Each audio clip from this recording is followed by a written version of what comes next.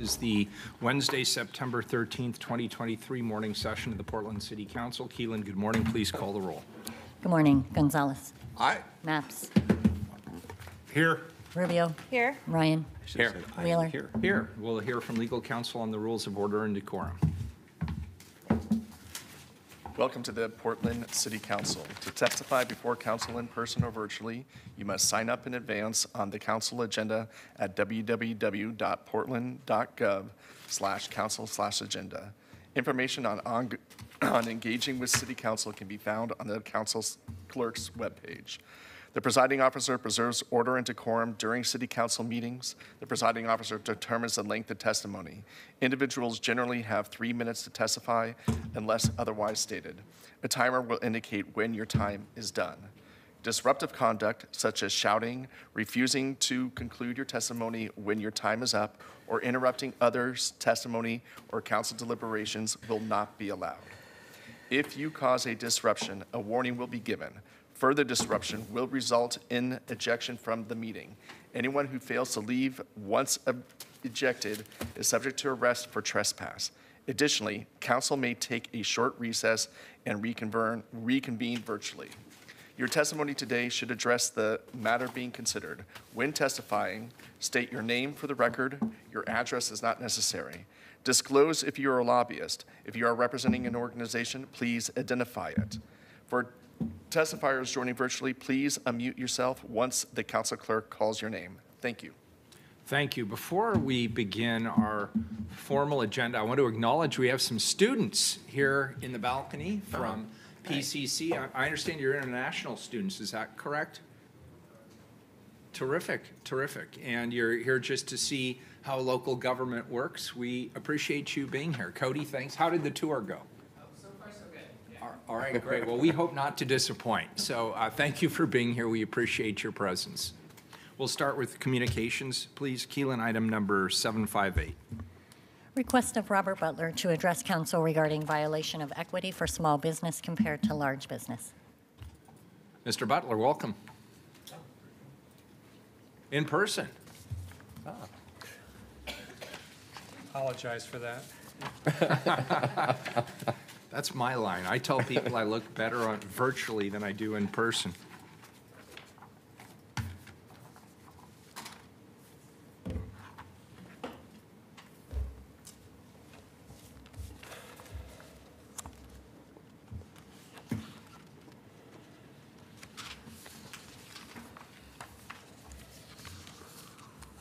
Well, good morning, uh, the most underpaid civil servants in Portland, Oregon.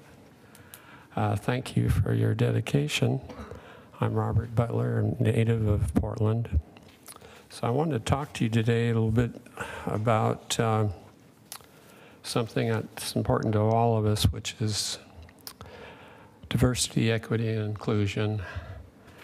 And I'm going to suggest that we probably mostly all agree that that should include all classes of people in our Portland, all legal classes should get diversity, equity, and inclusion. And the class that I'm going to talk to you about is small business as compared to other business, which maybe we'll call large business. And in small business, that doesn't happen in Portland. And small employers have a bias against them in the way the business tax code is treated. And the bias is to result in the fact that there is a greater burden on small business compared to large business. Now, small business represents 40% of all our employees, so this is a significant class, even though extremely weak class with almost no political power compared to large business. And I'll mention first of all that uh, it's in our code already, city tax code, that all classes, uh, all taxes in Portland should be treated in, in confirmation to the Oregon Department of Revenue taxes. In other words, we should be on the same basic set of rules Unfortunately, we are not. And what happens is that some time ago, uh, Mayor Goldschmidt was convinced that small employers would cook the books, basically have two sets of books. And One set of books for Portland taxes would say that there is no profit this year, and they'll do that by giving themselves bonuses to the point where there's no profit. Then they pay no taxes. So Mayor Goldschmidt decided that for, at the point of $60,000, if you made more than that, we would take everything over and above that, maybe $40,000, move it right down to the bottom line of your tax return, and we're going to add that to your income tax, net income, as additional net income, which I call phantom income. And this is uh, a a mistreatment of small business. And you would just have a handout showing that if we were to eliminate lines number uh, seven, or pardon me, nine and 14, that we would be back comparable to the Oregon Department of Tax Revenue in compliance, what I feel, of, of diversity, equity, and inclusion. And I urge this council to finally make this change and eliminate this mistreatment and bias against small business and quit saying that every time someone makes over, in this case today, over $125,000, they're cheating on taxes and that they will be punished by additional tax accordingly. Thank you. Thank you, sir. Appreciate it. Next individual, please, item 759. Request of Mimi German to address council regarding the People Ask for Justice versus the State of City Council. he's referring to. Should we ask? Yeah. What's wrong? Uh, just Mayor. wanna- Yeah, I just want to Ju- make sure. Just one, one second. Robert, you mentioned the documents. Do you have them? I have them. Oh, okay, Okay, great. That's why I want to make sure we had them. Yeah, Thanks. Uh, Mimi German. I don't think they've joined us. All right, next individual, 760. Request of Patrick Cashman to address council regarding misuse of emergency ordinances. Joining us online. Welcome.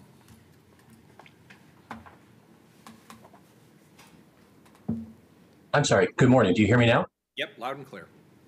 Fantastic. Thank you very much. Well, this should probably provide a nice contrast for the visitors. Uh, I was disappointed in the council's decisions regarding item 630 on the July 26th agenda.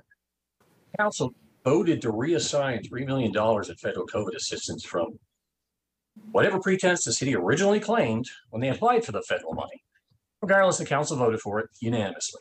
The most disappointing thing about it, however, more than the idea of using federal disaster relief to pay for a city property capital improvement, more than the city and GSA ignoring the federal regulations and their own policy requiring payment of full fair market value, more than the city having no documentation whatsoever of their claim in the ballot package that, quote, the grants management division has reviewed and determined that this eligible use of ARPA funds, and then claiming the exact opposite in the very next paragraph, with no public involvement was sought for this transaction as the ultimate end use is not known at this time.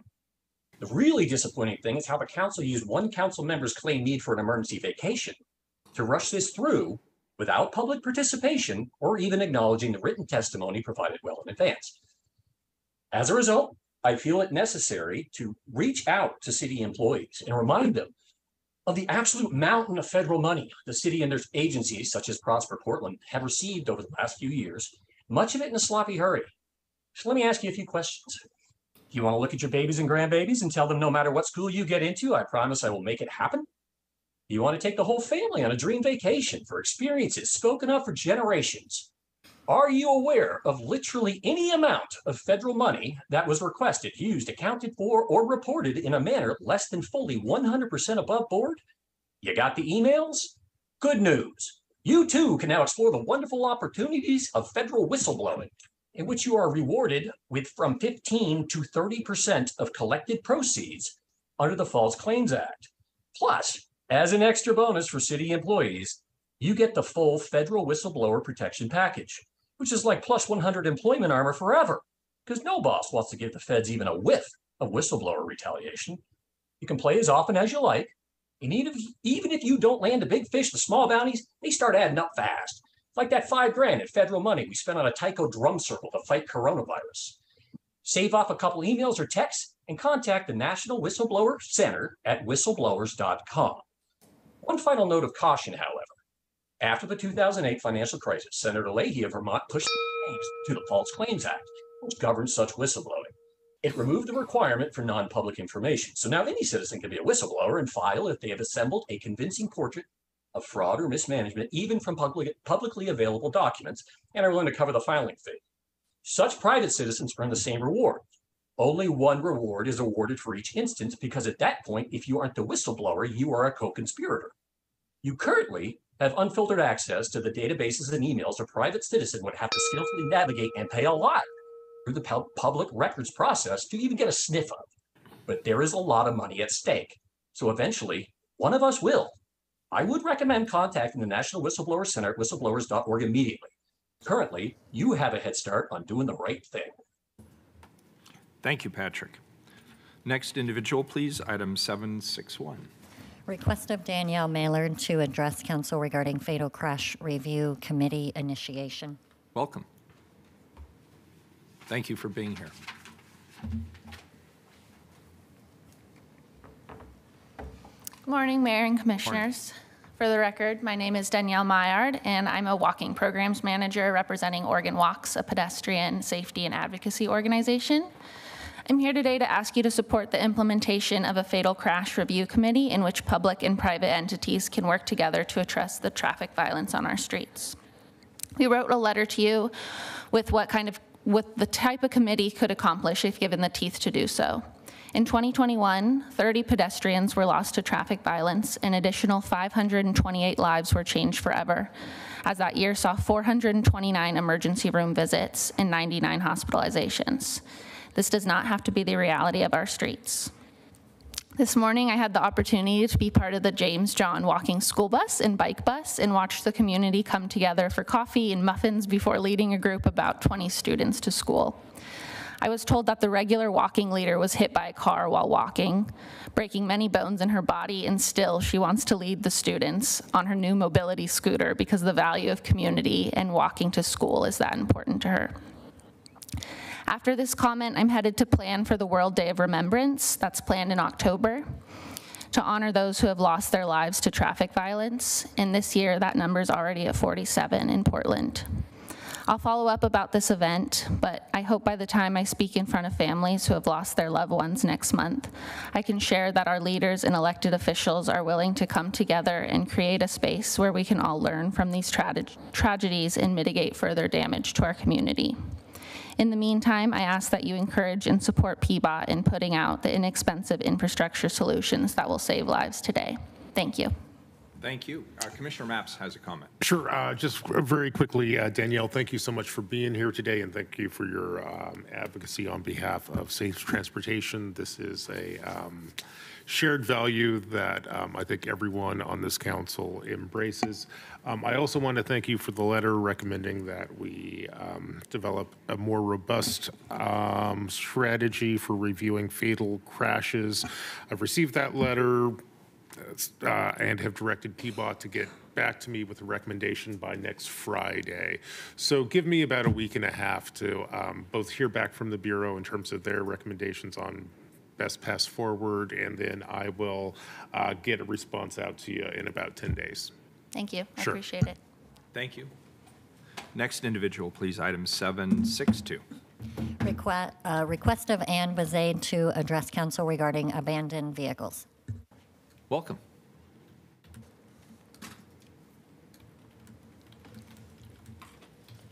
Good morning. Morning. Uh, My name is Ann Bezade, and I would largely like to address um, the RV campsites that are in my neighborhood. Um, My daughter and I uh, bought a duplex on Southeast Ankeny uh, in October of last year.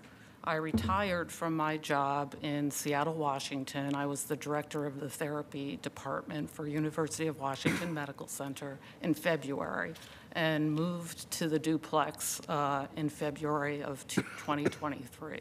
Since that time, a number of RVs have occupied southeast Ankeny. between uh, 20th and 24th Avenue, including a bicycle chop shop and several RVs that had what I would consider very dangerous individuals living in them, including a tin shack that had written on it, "The Kill Shack."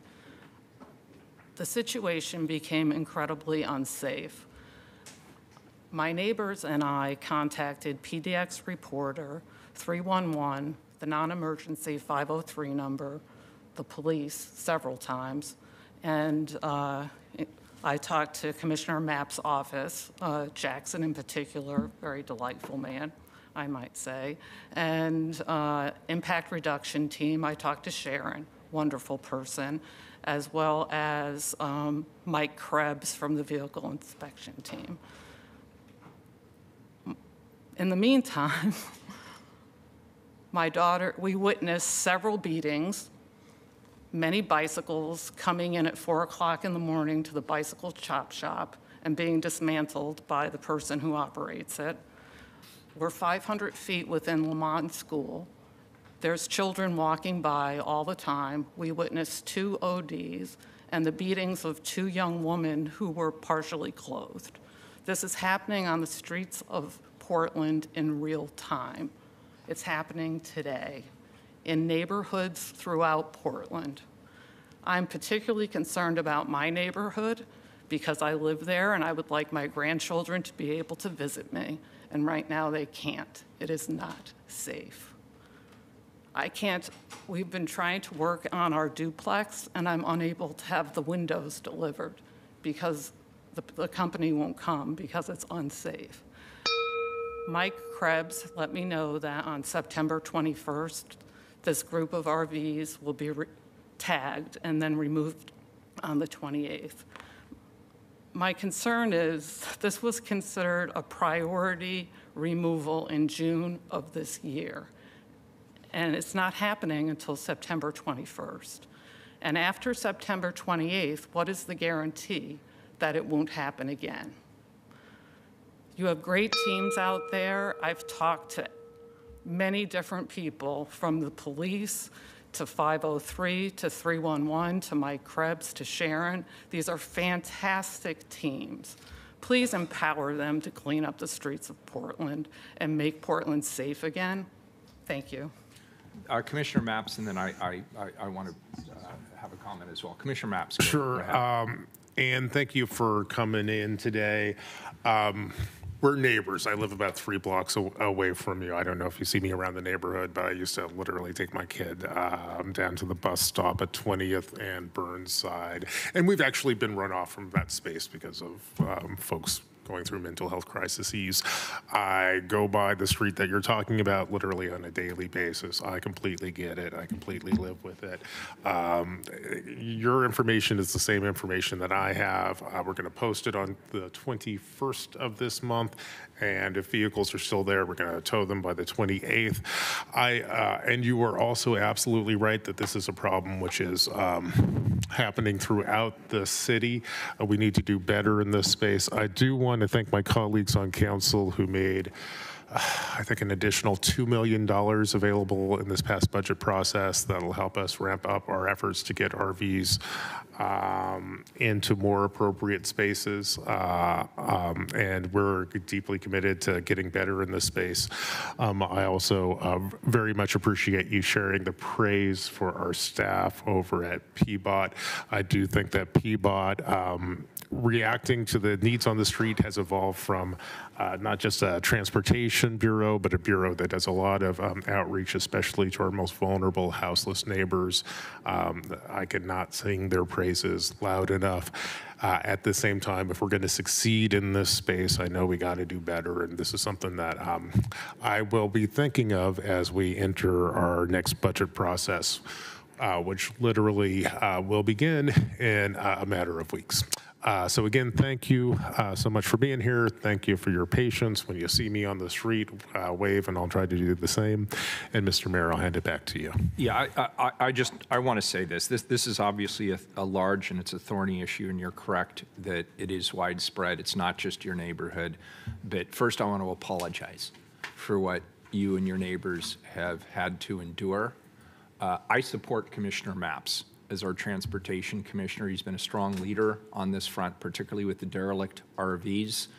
Um, This council wrote a letter to the governor yesterday uh, expressing our hopes and aspirations for the governor's task force on Portland, which, you know, th- this is center of target for the types of issues that people are experiencing. Uh, We have requested additional support from the legislature for funding specifically related to derelict RVs. We've stood up new programs at the city level to dispose of them. Uh, To be clear, uh, most of them are non-functional. A lot of them don't have appropriate sewer systems. Yes. Um, I'm aware of that. Eh, So we, we have set aside funding and sent out crews to actually deal with those scenarios. And I, dare say there is more we can do, given that it is increasingly common for people who want to dispose of an old RV to simply scrape all of the VIN and identification information and leave it parked on a street corner with the keys in it. I'm hearing this anecdotally over and over again. Um, Maybe what should happen is people should post a modest bond, and when they appropriately sell and document the sale of their RV, or appropriately dispose of their RV and document it, then they get that bond plus interest back. Uh, But in, in the meanwhile, it feels like people have found an easy way to get rid of their problem. And then, of course, a lot of those RVs, uh, you know, there, there's some very, uh, you know, honest, hardworking people who are, who are trying to get out of a difficult situation. But as you described, there are also people engaged in illicit criminal activity, including the manufacturing and distribution of drugs, human trafficking, and other problems. Um, And so I, I just want you to know this is something the Police Bureau is on. It's something the Bureau of Transportation under Commissioner Mapps is engaged in. It's something that we're all dealing with from a livability perspective and a community perspective. I'm sorry that it, it takes as long as it takes for these hotspots to be remediated. We, we have substantially increased IRP, the impact reduction program. I'm glad that, that you were treated with professionalism and kindness uh, when you spoke to those individuals and, and members of Commissioner Mapps' team. That's, that's what we want the public to see. We, we can't solve these problems quickly enough, and we acknowledge that, and we're scaling it. Uh, But we also want you to see that, that we're on it, and we care about it, we care about you and your neighbors. And, and I think it's fortuitous that Commissioner Mapps is one of your Lives in the neighbors. So he, neighborhood. he's in it with you, and, and collectively, everyone in this room is in it with you. So I, I, I'm sorry this has happened to you and your neighbors, and I look forward to that event on the 21st being successful. And I agree with you that then there's upstream solutions required to make sure we're not just back there in another six months doing exactly the same thing. Thank you so much. I, I would also just like to bring up one more thing. Sure. Um, During this process, my daughter's tires were slashed, and then we rented a car to, so she could have a car during that time period, and all the tires were stolen off of it. Um, So I do think people who are left in this, these situations and these criminal acts happen to them, that since the city isn't responding swiftly enough to prevent these criminal acts, hmm. there should be a way to compensate people for the damages that they endure while we're waiting for some action. Hmm, hmm. Okay, Thank you. I- Mayor, I had Uh, a. Yeah, Commissioner oh, Gonzalez. My hand was up. Oh, I'm oh, sorry, sorry. Commissioner Ryan, then Yeah, go for it. Commissioner Okay, Gonzalez. cool. Sorry, Dan. And first of all, thank you for your distinguished career at University of Washington. It made sense as I listened to your testimony. They were, it was a, it was really obvious what your professional uh, background was. It was so thoughtful. It's actually we hear a lot of themes such as yours, but I have to say that was the most compelling, thoughtful testimony I've heard in a long time.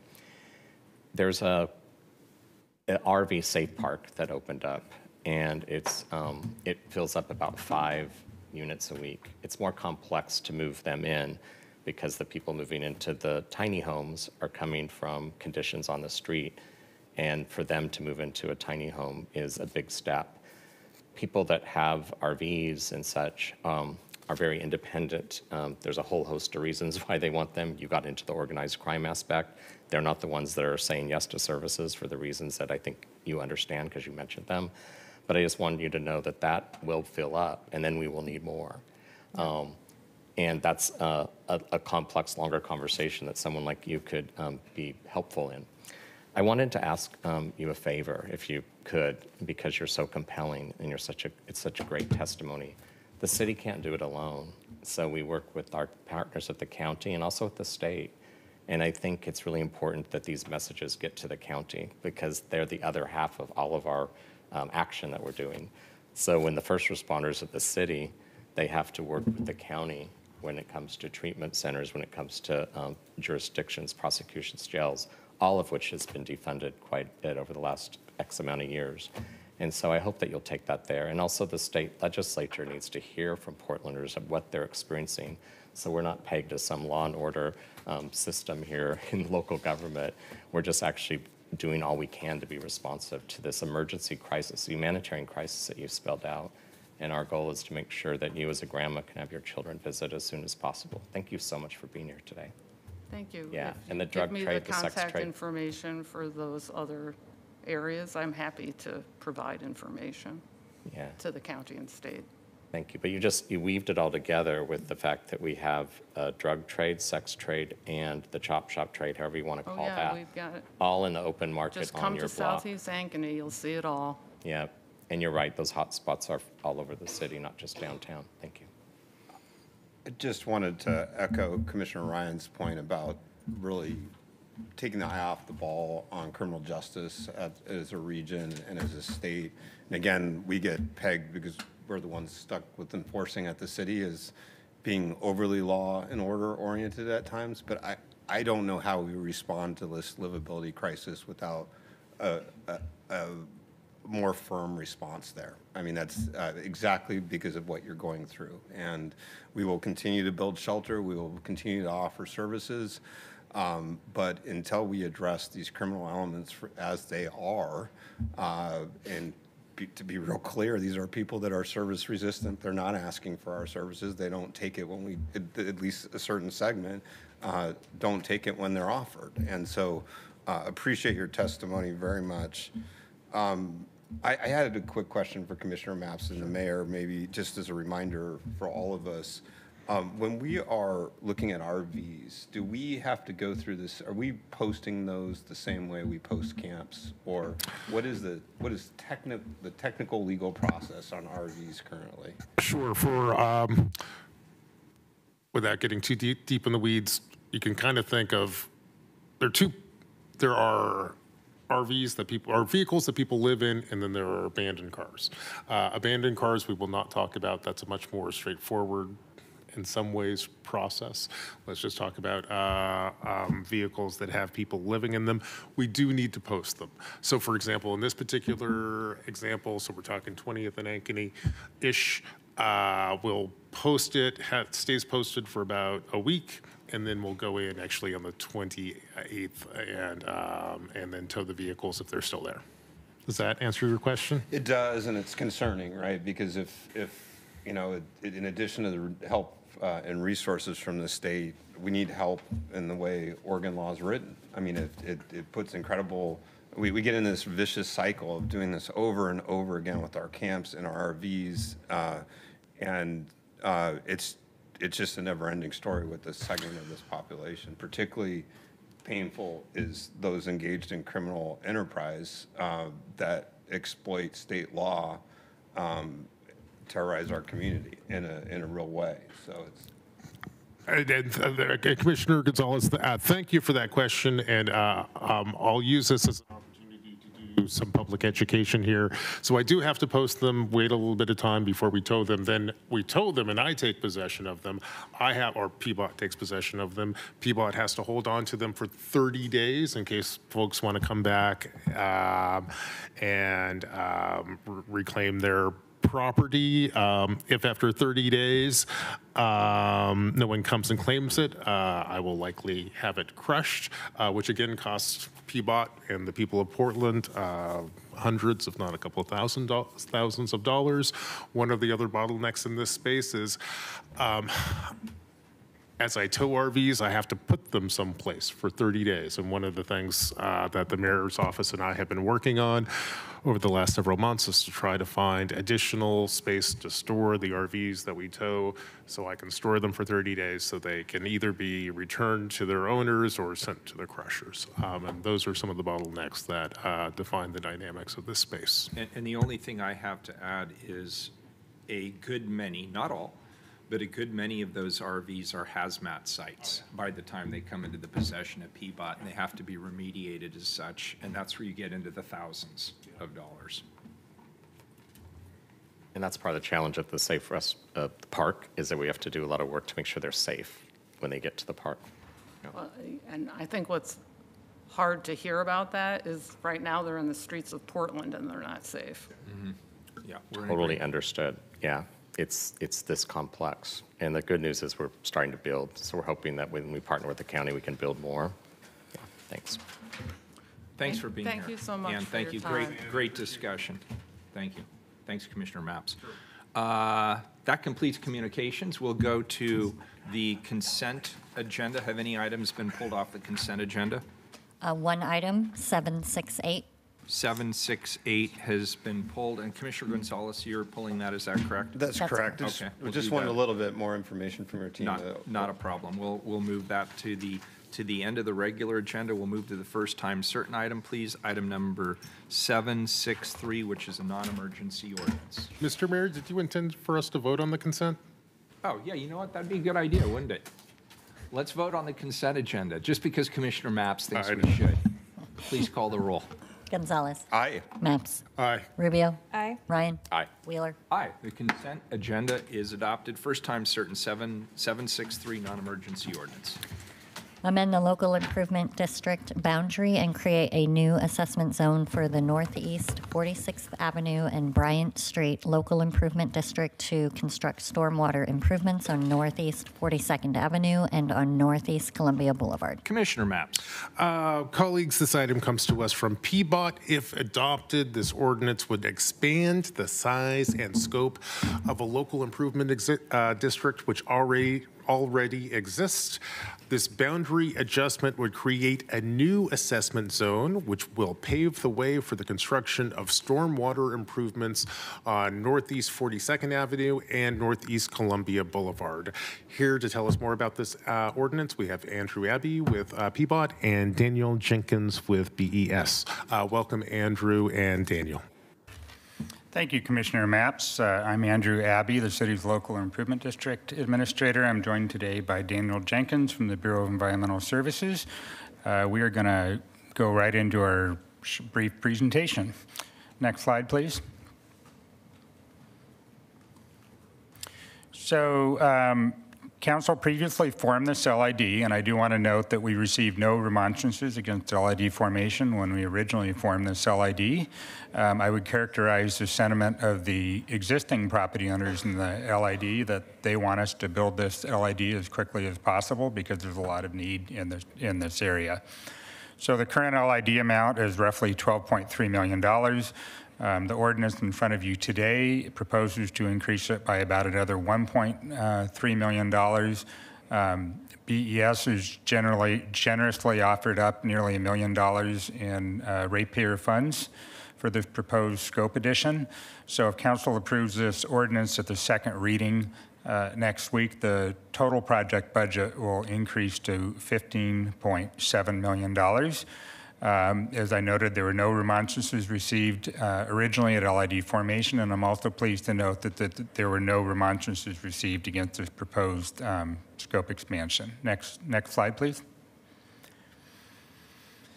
So I wanted to just give you a little bit of an overview. This project is in the Cully neighborhood. Um, Cully is our most diverse neighborhood in the city of Portland, and historically, um, the city and the county have not done well by funding infrastructure in the Cully neighborhood. Um, I just want to give you a little snapshot of what this LID attempts to begin addressing. So if you look at the Cully neighborhood, 9.0% of the streets in Cully are unpaved versus a citywide average of 2.7%. So that means that if you live in Cully, um, you are more than three times likely to live or own a business on a street that doesn't, on a street that is not paved. There are no residential properties in this LID. They're all, they, they are all commercial in nature. And I would also just note that the sidewalk coverage ratio in Cully, less than a third of the streets in Cully have sidewalks versus almost two-thirds citywide. Um, And this, this is a very diverse census area where this LID is located. Um, Over a third of the people um, uh, are a minority, and the median income is less than $45,000 a year. Next slide, please. So the current LID scope, um, we packed a lot into this existing LID. So if you look at where that green square is in the northeast corner of the LID, um, that is where we are building a stormwater outfall to the Columbia Slough. So you can see that picture there, the lower right, that's Northeast 46th Avenue. There's no stormwater management on the street, so the water just sort of sits there and percolates into the ground. And there's a lot of bad stuff going into that stormwater. Um, so we will build stormwater facilities and uh, appropriately treat and convey that stormwater before it outfalls to the Columbia Slough, and that will be a new stormwater outfall. Next slide, please. So this, this uh, green square that you see in front of you is um, where we're going to build a new east-west street connection so that the small businesses on the street can safely get out to Northeast 47th Avenue so that they're not taking their life into their hand trying to make a left turn onto Columbia Boulevard from Northeast 46th Avenue. Uh, Next slide, please. And then this, this circle here shows where we're going to put in a new traffic signal, signal on a high crash corridor at the intersection of Northeast 42nd and Lombard. Recently had a small business owner in the LID contact me, and he was very anxious for us to get out to bid because he's, his uh, employees have had three accidents trying to egress from Northeast 42nd Avenue onto Columbia Boulevard. And again, I want to stress this is already in the LID. I'm just um, trying to provide an overview for council that we're really trying to be thoughtful and very comprehensive, that we don't take a siloed approach when we do these LIDs. We really try to look at everything that needs to be done in the area and do them all at once. Next slide, please. So uh, the map that you see there is the Columbia Slough. You can see that it stretches from the confluence of the Columbia and Willamette Rivers, pretty much east to Troutdale. Um, there's, this is a very valuable uh, hydrological and ecological resource for the city of Portland. Um, so BES has had efforts underway for decades to help clean up the Columbia Slough. And I'm very pleased that the LID can be a component of help, helping to further that objective. Next slide, please. So um, when we're looking at treating stormwater, this is not a nice to have thing. Uh, this is decades of work by the Bureau of Environmental Services uh, to work with the federal regulatory authorities to uh, do what we need to do to appropriately treat stormwater. And Daniel will share more about that in a minute. So really what we're talking about here is there's the obligation of the Bureau of Environmental Services, but also private property owners to treat the stormwater that is on their private property. And this proposed LID amendment helps to uh, do that in a cost-effective way. Next slide, please. So um, if you look at the um, the two green squares there, those are the properties that we propose to newly include in the LID. Um, for me, this was really just a matter of common sense. What I didn't want to do as, as the city's LID administrator, not PBOT's LID administrator, but as the city's LID administrator, uh, notwithstanding that the Bureau of Transportation is the responsible bureau for the LID, when BES first approached me about doing this, I didn't want the answer to be, well, this is the PBOT project, um, you go figure it out on your own, BES. What was very clear to me is that it did not make sense for us to spend the property owner's money to build a new concrete street on Northeast 42nd Avenue and a new concrete intersection in Northeast 42nd and Columbia Boulevard and not plan ahead by putting the piping in so that eventually these properties that you see circled here in green had a way of disposing of the storm, their stormwater on private property. What we did not want to do is to punt and say, we'll deal with that later. You come in later, you rip up what the LID just built, and you figure it out on your own, and you pay for it on your own, where it would obviously be much more expensive. Next slide, please.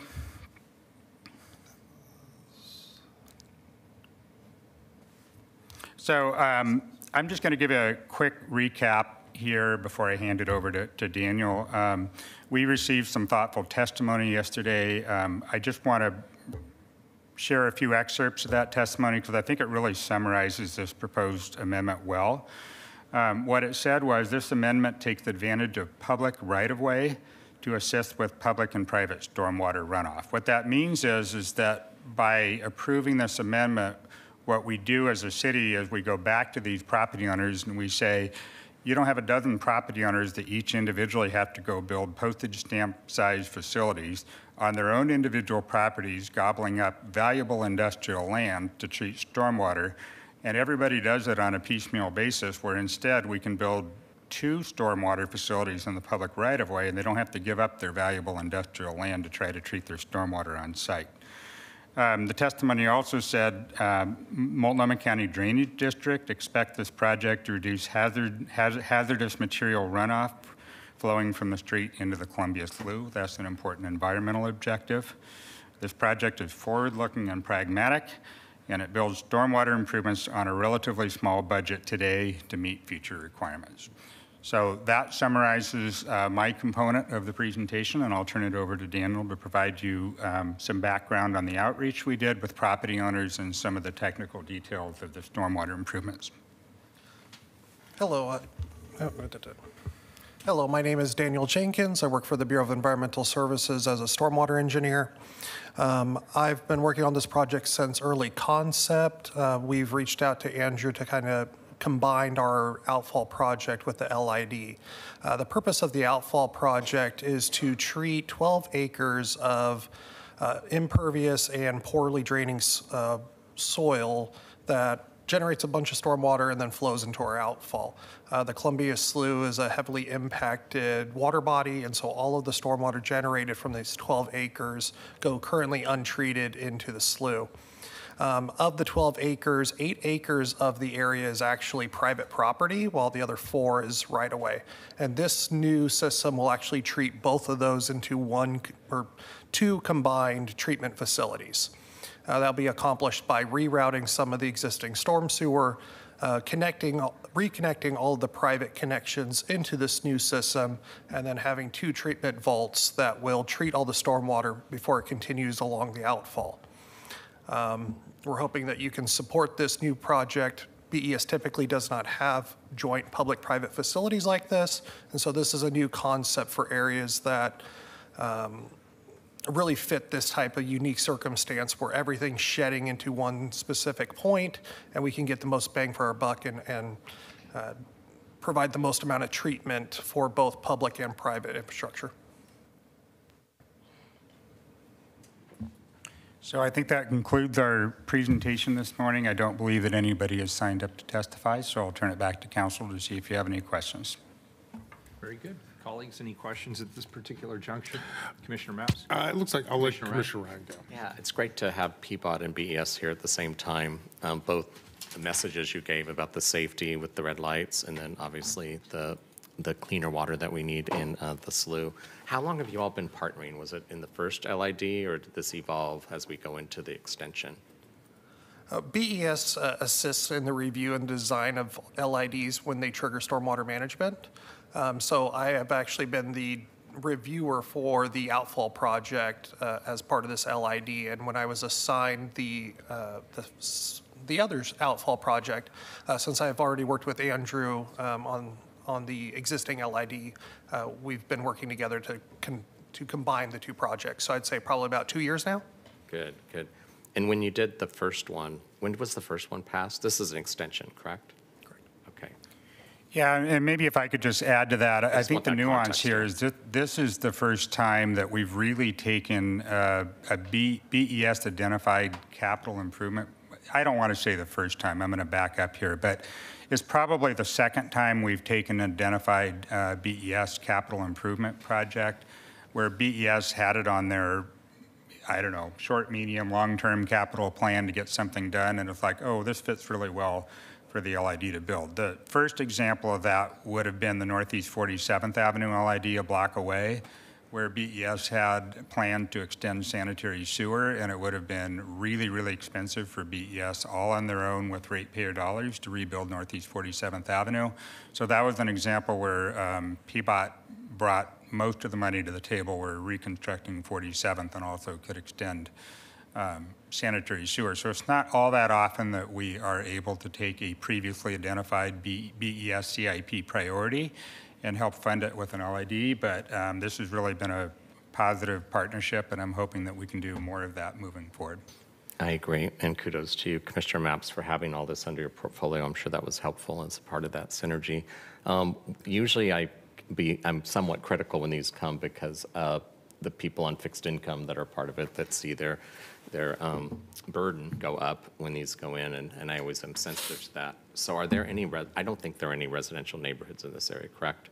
Correct. So it was all All commercial? commercial properties. Okay. Um, And then we've done outreach to all those commercial properties, sent letters and actually gone door to door to all the Yeah. commercial properties. Uh, Myself and my PI, uh, Public Information Lead, have actually gone door to door to all these commercial businesses and talked to them about the benefits of the LA. And LID. they're all in for this investment? Yes, we have one person that was willing to provide testimony to that. Okay, sounds good. Thank you. Thank you for working together. Thank you. And I would just add, uh, Commissioner Ryan, we also don't want to burden property owners by throwing up roadblocks to these small businesses growing and expanding and providing living wage jobs, which are desperately needed in the Cully neighborhood. So if these small businesses on their own were to want to expand, they would go through the development review pro- process, and then they, we, we probably, I'm not the BES reviewer or development review, but my sense is they'd be told, you need to go build your postage stamp size facility, and oh, by the way, you need to put in all the piping, and you need to rip up the street, and I don't mean to repeat what I said earlier, but we really do want to remove all those roadblocks to these small businesses um, prospering over the years.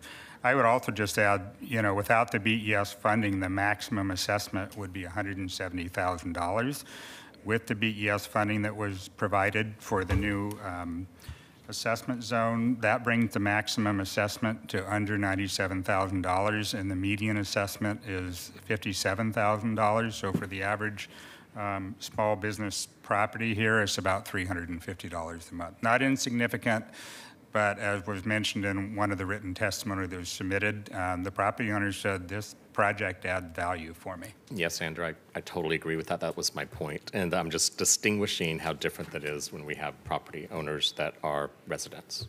Yeah, thanks for that distinguishing fact. Mhm. Commissioner Mapps? Um, Just as we wrap up today on this item, I want to thank Andrew and Daniel for their presentation, and I also want to compliment uh, both of you and everyone else who worked on this project. I think it really embodies um, the new direction that the city of Portland's trying to go into, uh, breaking down silos between uh, different bureaus and actually uh, sponsoring more partnerships between the public sector and the private sector. Um, I think this is what good government looks like, and I really appreciate everyone who got us here today. Excellent work. Well done. Do we have uh, public testimony on this item? No one signed up. All right, very good. This is a first reading of a non-emergency ordinance. It moves to second reading. Thank you. Thank you. Next item, please. Uh, Item 764, a report.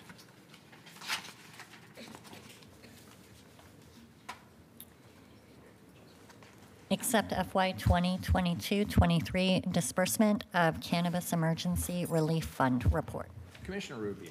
Thank you, Mayor. In December of 2021, council approved in a historic 5-0 vote to provide a one-time allocation of 1.33 million from the recreational cannabis tax revenue and cannabis emergency relief fund- funds. These funds are, were available to struggling cannabis businesses and its workers that were economically impacted from the unprecedented COVID-19 pandemic, vandalism seen from um, the civil uh, state of unrest, increased criminal activity, and a historical 2020 wildfire season, and the residual effects of illness, trauma, and grief suffered from such impacts. The approval of these funds allowed Portland to become the first government jurisdiction in the country to provide emergency relief to cannabis businesses and its workers. And due to the great success witnessed in fiscal year 21 22 and the continued need for emergency relief in fiscal year 22 23, Council approved another one time allocation of $456,000. The report being presented today is a record of the results of that disbursement. So Christina Corsi, the Cannabis Program Coordinator, and others have joined us here to present this report. Thank you. Good morning, Mayor Wheeler and Commissioners of Council. My name is Christina Corsi, and I am the Supervisor of the Cannabis and Liquor Programs with Development Services.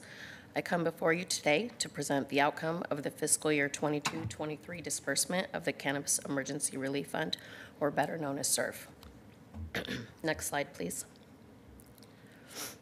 In November 2016, Portland voters approved ballot measure 26-1180 to impose a 3% local tax taken at the point of cannabis retail sales. Since then, over $30 million, that slide says 14 million, it is actually 30 million, in cannabis tax revenue has been allocated across various City of Portland bureaus to support street infrastructure improvements, DUI training, drug rehabilitation, criminal justice, expungement and reentry services, and small businesses disproportionately impacted by cannabis prohibition.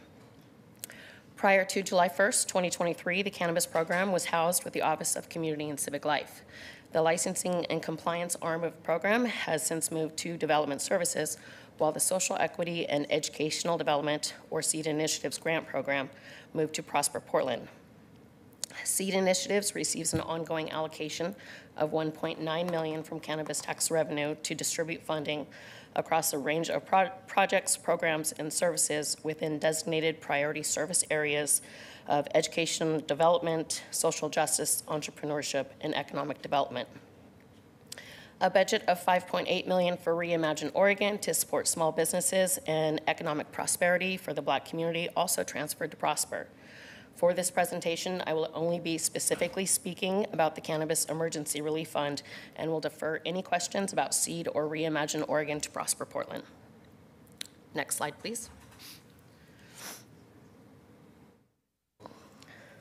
SERF was developed in fiscal year 21-22 to provide emergency relief in the form of grants of up to $25,000 to small licensed cannabis businesses and up to $5,000 to cannabis industry workers economically impacted from the COVID-19 pandemic, vandalism seen from the state of civil unrest experienced across the nation, increased criminal activity, impacts from the historic 2020 Oregon wildfires, and the residual effects of illness, trauma, and grief suffered from such impacts.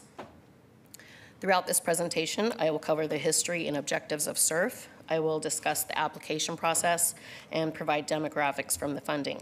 You will hear from the ongoing you will hear the ongoing challenges the cannabis industry continues to face, and we will hear from our SERF community partners on their experiences as those who worked directly with cannabis business owners and its workers on disbursement of funds. Next slide, please. In March 2020, Oregon Governor Kate Brown declared a state of emergency due to concerns around the COVID 19 pandemic and issued an executive stay at home order. This order closed schools and many businesses that were considered non essential. Cannabis businesses were fortunately deemed essential and were able to continue operating, although unfortunately, open for business made the cannabis industry employees vulnerable to contracting coronavirus employees with small children being forced out of the workforce or needing to take a reduction in hours in order to stay home with their children due to a lack of childcare and needing to homeschool. These cash-based businesses were also vulnerable to what would become a 115% increase in violent crime reported from the previous year and vandalism seen around the city and country. As time progressed, the distress felt by the cannabis industry only worsened, in early September 2020, rapid expansion of multiple wildfires ran rampant across the state, making the Oregon 2020 wildfire season one of the most destructive on record. Oregon wildfires have have caused unprecedented devastation to the entire cannabis industry supply chain with significant uncertainty surrounding future outcomes and long-term sustainability. On December 1st, 2021, I presented before this council on fiscal year 21-22 SERF ordinance, which is widely accepted and provided $1.33 million allocated from the city's recreational cannabis tax revenue fund. We received a historic 5-0 vote from council, which allowed Portland to become the first government jurisdiction in the country to provide emergency relief to cannabis business and its workers. These funds were prioritized for historically disadvantaged populations, which includes minority, women, and veteran-owned, and those businesses qualifying as a small business, and they are based on the, they are dispersed on the level of need. Due to ongoing need, council approved a second one-time allocation of $456,901 in the fiscal year 22-23 budget. This funding included approximately $306,000 of a one-time allocation of cannabis tax revenue and approximately 151,000 dollars of one-time general fund resources. I spent the greater part of six months researching and developing the approved comprehensive plan for SERF that outlined all the eligibility requirements for businesses and individuals in the actual application for relief funding. Details of SERF were derived from assessing the needs of the industry, analyzing data trends, researching successful small business relief programs locally and across the country, and speaking with cannabis industry advocates. Next slide, please. As part of the historic 5-0 vote, Council approved the proposed execution plan, including non-competitive umbrella grant agreements with three uniquely positioned organizations to manage applications and disperse funds. Due to the emergency nature of the funds, we propose these non-competitive grant agreements with organizations with proven historical experience with, knowledge of, and direct ac access to the very specific and unique target, target population. The, organiz the organizations selected as community partners are all led by historically disadvantaged populations. So not only are the recipients being prioritized, so are the community partners dispersing the funds. SERF was modeled after an umbrella grant agreement that was made effective in December 2020 between the City of Portland and CAUSA of Oregon, which is the Oregon Reliefers, Relief Fund that provided 1.7 million for unemployment-like benefits for those who cannot access state and federal unemployment benefits. Cannabis businesses are also in, in, a unique position as they are also not eligible for relief funding or federal funding due to cannabis still being classified as a Schedule 1 controlled substance and federally illegal. In fiscal year 21-22, City of Portland Cannabis Program worked with three uniquely selected community partners for the administration of these funds. Uh, the community partners received up to 20% admin fee. The admin fee was for marketing, outreach, intake, processing, verification, payment, and reporting of SERF. Uh, the community organizations we worked with were NuProject, The Initiative, and Oregon Cannabis Association. NuProject also acted as a fiscal sponsor to Cannabis Workers Coalition to provide grants to cannabis industry workers. The community partners selected were not being funded by SERF. They disperse these funds to assist with a level of need that is harming cannabis businesses and will eventually put them out of business if we were to continue on the same trajectory. Due to the lower allocation received in fiscal year 22-23, the cannabis program only worked directly with the lead SERF partner, NuProject, to dis disperse these funds. And once again, NuProject acted as a fiscal sponsor to Oregon Cannabis, Cannabis Workers Coalition. Next slide, please. Just to provide a brief overview of business, business eligibility, while this is not an exhaustive list, I wanted to point out just a few. The businesses must be located in Portland city limits. They must be in good standing with the City of Portland Cannabis Program and OLCC. Uh, be 51% historically disadvantaged owned. Again, this includes minority owned, women owned, or veteran owned, or be considered a small business by holding three or less pending or active marijuana regulatory licenses by OLCC and have an annual combined total revenue of less than $2 million. They also must be in current and good standing with local, state, and applicable federal taxing and licensing authorities. Next slide, please. On this slide, you will see a list of eligible expenses that the SERF funds may be used for. Again, this is not an exhaustive list. I'm only highlighting a few of them. These funds can be used for rent or mortgage payments, maintenance and repairs needed to restore premise following from damage of vandalism or break-in, increased security measures. This does not include armed security guards or purchase of firearms or other weapons, expenses to cover medical, trauma, or grief counseling associated with COVID, robberies, or wildfire, and the cost to cover past due balances of marijuana regulatory licenses in order to remain in compliance. Next slide, please. The first SERF applications opened up on February 1st, 2022, and due to an overwhelming demand, application acceptance was paused after only 23 days. The total amount of funds requested in that 23 days was $2.1 million.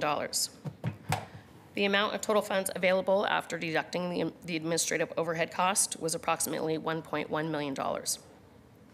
There were many businesses still in emergency need that were unable to receive funding within the first round. However, with the amount of funding available and with the number of applications submitted, 91% of cannabis workers requesting relief were funded, while 70% of businesses um, had a funding rate. 35% of eligible applications were women-owned, while 52% of applications met NuProject's priority designation of Black, Latino, or Indigenous-owned businesses.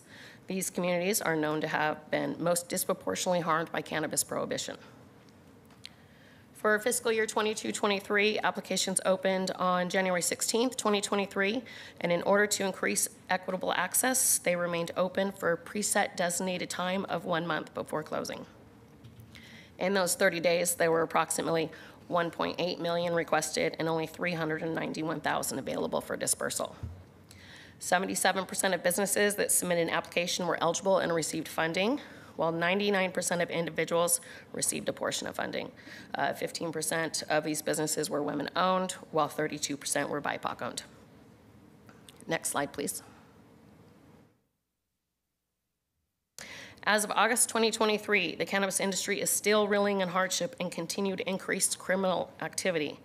Data obtained by OLCC indicates 300 Portland cannabis businesses reported theft of product and or cash between February 2020 and August 2023. Portland accounts for 69.1% of thefts statewide, some businesses being victimized more than once. These thefts range from looting to armed robbery, some resulting in bodily injury, sexual assault, and even homicide. Updated stats received for this month shows two reported thefts already in September. Further data obtained from OLCC indicates the economic, the Oregon cannabis economy is the lowest it has been since 2015.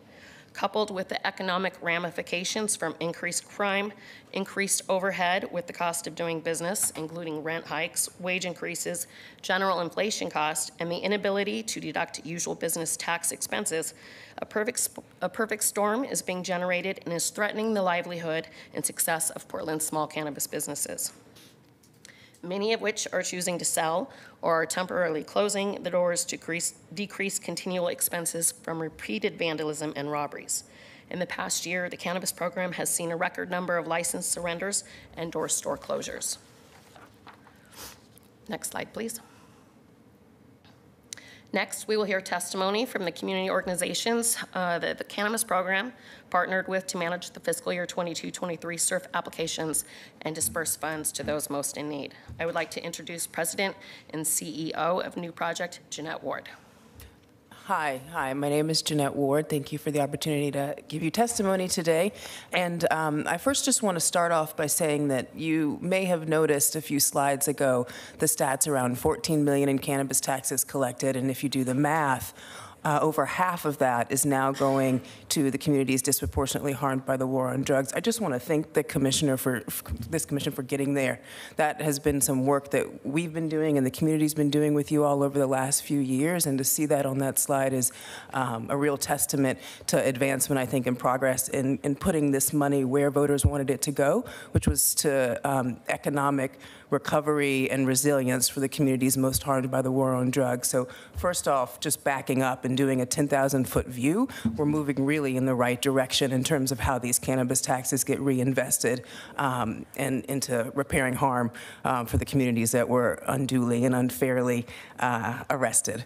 So that said, let's talk about how these specific funds have gone to work this year uh, creating equity. This isn't just equity in terms of serving uh, the black, brown, and women-owned businesses who usually don't give funding. This is equity um, for the industry just in good business sense for a city, there aren't emergency relief funds available to these businesses. And when I dispersed these checks, handwritten and handed to these business owners, the 49 that you saw, we had conversations about, um, about their journey and their struggle as small business owners.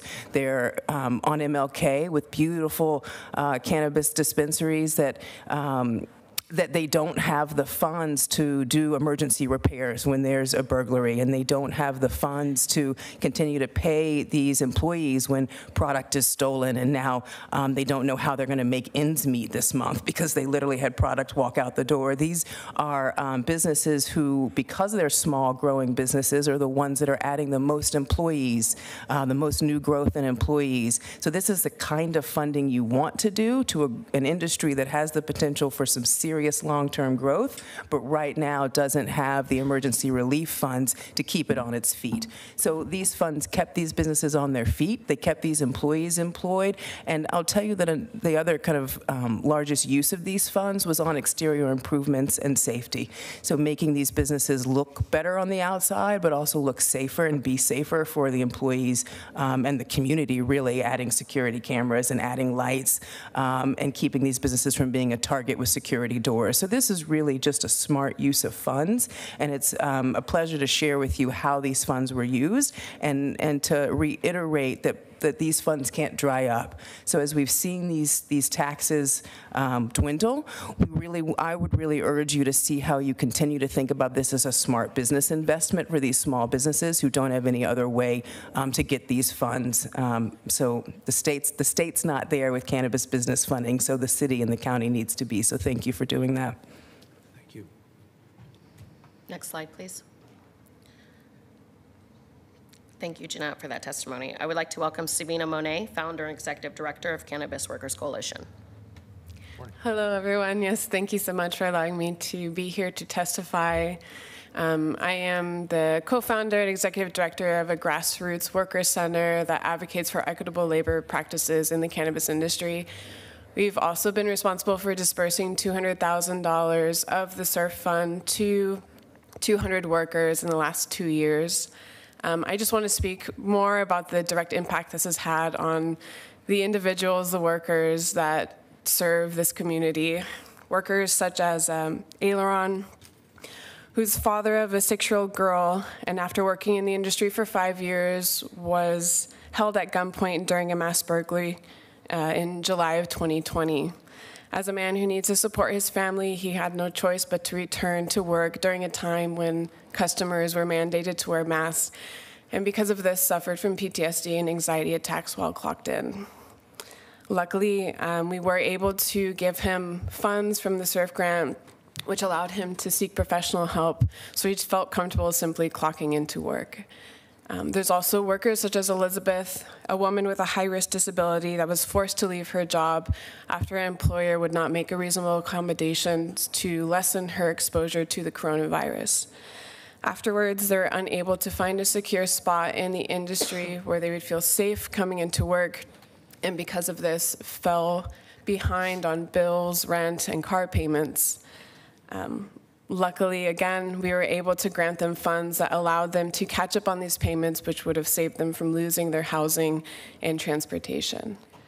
Over the last two years, you may have heard at least four times the amount of funds granted to our organization has been requested from workers. We've had to reject applications simply because we ran out of money. There's clearly still a need for a SERF grant um, for workers. 75% of our funds went directly to the pockets of workers from the most impacted communities, with 60% of them being black and brown workers who were most at risk for evictions. Many of our applications were from individuals who had to miss work because they contracted COVID 19 or recovering from traumatic and sometimes violent uh, robberies that occurred in the workplace. In addition to that, these workers have been carrying debts for on average of six to nine months and were often at the brink of a total financial and emotional collapse. So um, I stand here before you on behalf of my organization and many of the Portland cannabis workers to request that you grant an additional round of emergency funding. Thank you. Thank you. Thank you, Sabina. Next slide, please. Portland cannabis, Portland, Portland-based cannabis businesses continue to experience extreme financial impacts caused by increased continual criminal activity as well as market downturn. Despite being eight years into legalization, Portland's cannabis landscape is still young. Therefore, we must do what we can to provide assistance during the ebbs and flows, especially to struggling businesses during times of hardship, in order to uplift and support small businesses historically disadvantaged and those disproportionately impacted by cannabis prohibition. There is absolutely an ongoing need to provide emergency relief to the cannabis industry. Unfortunately, due to the reorganization of Civic Life programs earlier this year, we were unable to request another one-time allocation of SERF. During an attempt to request funding during the fall bump, I was told that fiscal year 22-23 cannabis tax revenue was already accounted for. However, the cannabis program continues to provide an equity-centered framework and will continue collaborating with partnering agencies and our community partners to provide resources and assistance where applicable, with a funding request next fiscal year should it- there still be a need. Thank you for your time today. If you have any questions for either myself or our community partners, we will take those now. Very good. Thank you for the report. Colleagues, questions? Commissioner Rubio? I just have one thing. I was uh, negligent in doing this uh, right before the presentation. Um, colleagues, uh, we need. To, I need to make a motion to amend the report. There was a little bit of updated data in the presentation, so we just want to make sure it's trued up. Uh, nothing material, um, materially different. Sure, I'll second. Any further discussion on the amendment? Call the roll on the amendment. Gonzalez. Aye. Mapps. Aye. Rubio. Aye. Ryan. Aye. Wheeler. Aye. The amendment's on the table, and I, I'm doing that prior to any public testimony because it's technical in nature. Uh, Any further questions at this point? Sure. Commissioner Ryan? First of all, Christina, thank you for your own resilience in the transition from uh, Civic Life to BDS. I want to know that I appreciate that. And it- it was necessary to remove the regulatory out of Civic Life so that mission could get back to focus. Um, And also, it's great to meet the partners, just so I really do understand this. So it sounds like you're, these two partners, you represent organizations, of course, distribute the funds. And then you're the regulatory in terms of the, the parameters, if you will. Correct. Okay. And then the way I'm taking it in is you're more focused on the small businesses. You care about them too, but you're more focused on the workers in those organizations, correct? Correct. Okay, great. Nothing's ever perfect, but I just have a couple questions and to hear stories on why there's a little bit of a gap between what was um, requested, or there's always a gap between what's requested and received, uh, but in what was delivered. So 83% went out the door in 21, 22, therefore 17% did not. I just want to hear stories on what, the, what's involved with that 17%. And then this fiscal year 22, 23, 14% of the money that you had didn't get out the door. There's a lot of people that are tuning into government right now when we say that we need more money, and anytime there's a disparity between what we have and then what we're not getting out the door, people need to know why. So I just want to hear the stories. There's always reasons. I'm not sure I follow the question. Um, We distributed all the money that was uh, allocated for distribution according to the contract. Was there an amount of tax money that didn't make it to us? So what we saw in the report was that um, in 21, 22, uh, there was 1.33 million that went out. Um, There was, um, or dispersed was 1.1, if you will, and what was received to go out was 1.33. So 83% went out, 70% did not. I just want to hear some stories on- about why that 70%, 17% did go out. Yeah, And so that the- probably is the- for you, Christina. The approximately $200,000 that were not dispersed went to the administrative cost of dispersing those funds. Okay, see, that answered the question. And so therefore, the administrative cost in 22, 23 were 14%? 17%. Okay, all right. Thank you. Oh, and then because it's been in the news so often, I just want to hear, uh, La Mota, are they, did they receive money this past year? N- No. No. Okay, for the record, they did not. No, they, they do not qualify as a historically uh, disadvantaged business, and they also do not qualify as um, a small business. And I'll just end with one more point. Earlier, we had some really compelling testimony about the small business classification. I don't know if you heard that, but it's a, it's its own classification of struggle. And I think that you get at the crossroads of that. And so I think it is great that you're looking at, at really focusing on the challenge of being a small business, especially ones that don't have the same protections and regulations. So I want to say I appreciate that. And I know there are many uh, small business owners in this space that want to be able to receive these awards. I think it was great that it moved to Prosper, who has a nimbleness around this. And I'm really grateful to see that progress being made. But I like the expansion of looking at all small businesses because they are all being impacted by this. Thanks. Do we have public testimony on this item? No one signed up. Could we take a two-minute recess and we'll, we'll wait for Commissioner Gonzalez to get back and then we'll take the vote? Thank you for the report. We're in Thank you. recess for two minutes.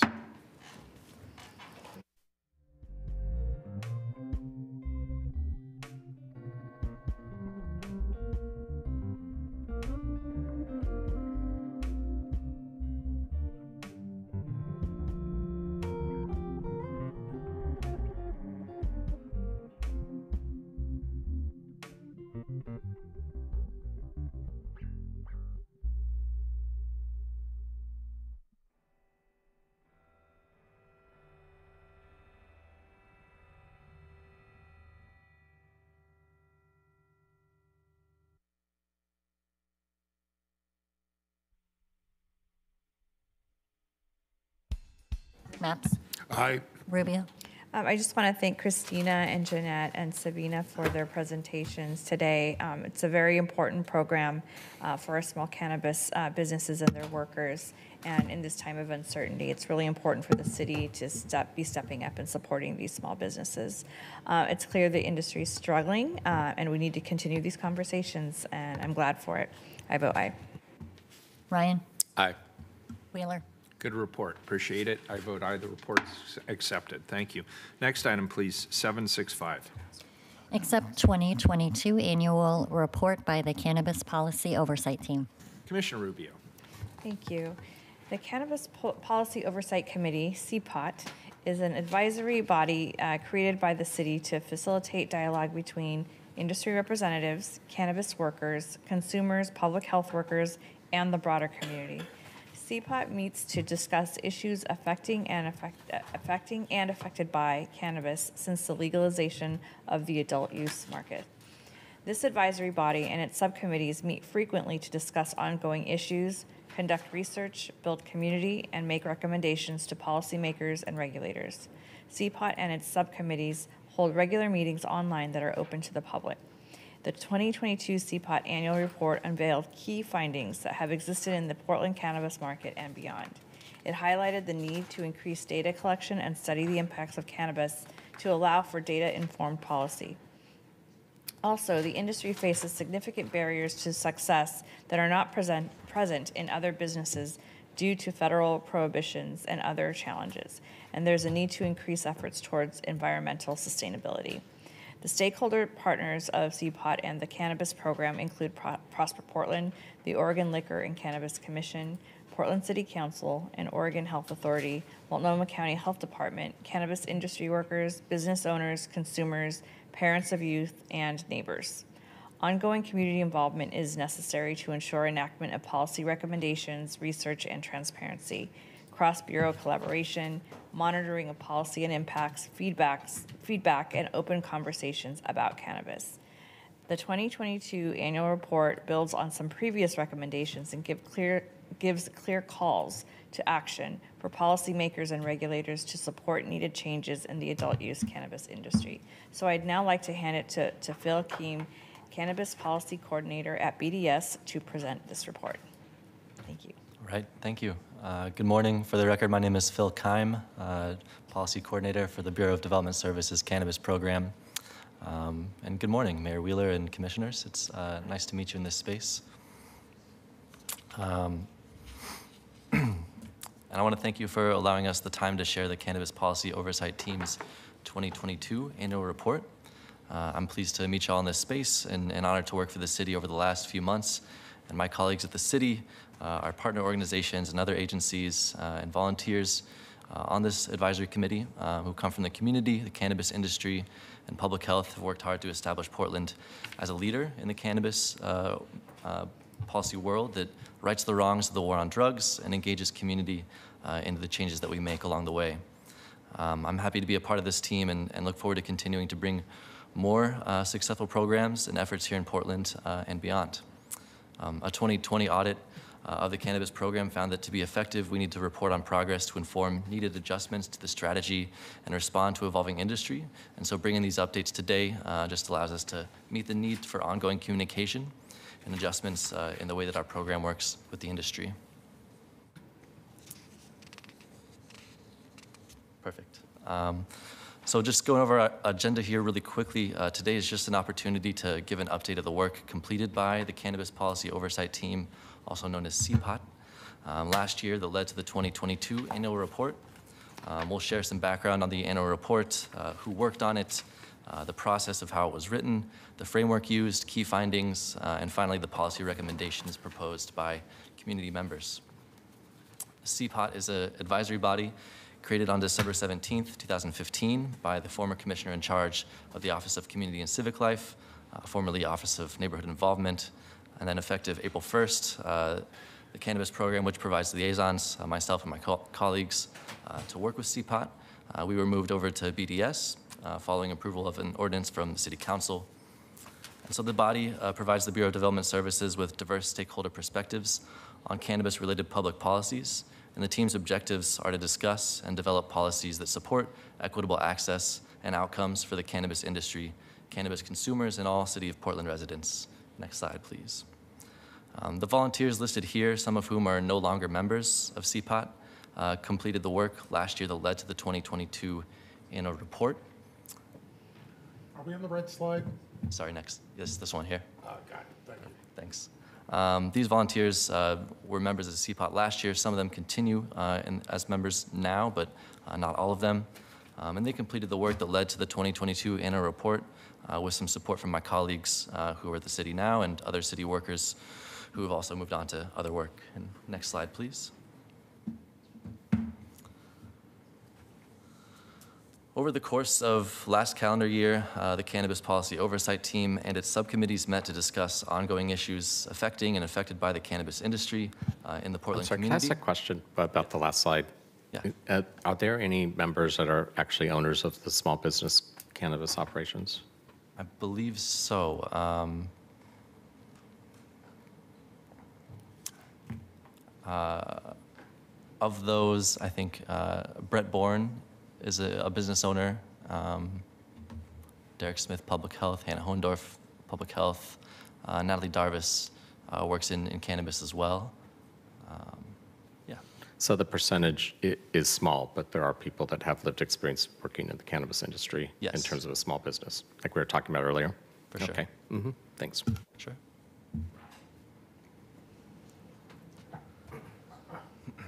Um, actually, let me jump in here. Commissioner Mapps.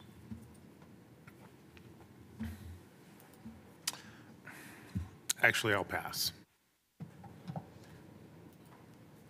Okay. Um, CPOT and its subcommittee members uh, conducted research and led outreach to experts from the cannabis industry, from public health. Um, they spoke with policymakers and regulators. Um, and the annual report last year is a summary of findings and recommendations to enact policies that strengthen economic, environmental, human, and social equity. And shaping can future cannabis policies involves a collaborative effort between policymakers, industry stakeholders, public health experts, and community members. And CPOT recognizes the following key steps that can be taken to shape future policies. Uh, to conduct research and gather data. It's essential to conduct local research on the effects of cannabis use on public health, public safety, and the economy. And policymakers should also gather data on the experiences of other jurisdictions that have legalized cannabis to inform policy decisions. Um, to engage stakeholders, policymakers should engage with a diverse group of stakeholders, including industry representatives, public health experts, law enforcement officials, and community members to ensure that all perspectives are considered when developing policies. I think CPOT's a, a perfect place for these conversations to be had. Um, develop regulations. Clear regulations are essential to ensure that the cannabis industry operates safely and responsibly. Regulations should cover all aspects of the industry, including cultivation, processing, distribution, and retail sales. Promote equity. Policies should uh, be developed with equity in mind, particularly in communities that have been disproportionately affected by cannabis prohibition. And this can involve measures such as expunging past uh, cannabis related convictions and creating opportunities for individuals from underserved communities to participate in the legal cannabis uh, industry. And finally, uh, provide education and public awareness. It's important to educate the public about the risks and benefits of cannabis use, particularly among young people and young adults. Um, public awareness campaigns could also help to reduce the stigma associated with cannabis use. And next slide, please. Commissioner Ryan, did you want to? Phil, on that last slide question. Sure. The last report we heard about the economic hardship of so many in the industry right now. And I'm looking at the key buckets here. Which one would fall into that category? I suppose for promoting equity, uh, economic equity. If we in fact look at the big picture equity that includes small businesses perhaps, but I think my feedback would be that was the majority of the last presentation. And so then I don't see anything that really targets that when it comes to our future policy. So just feedback. Sure, Thanks. thank you. Uh, I thought it was important to highlight the framework used in this annual report.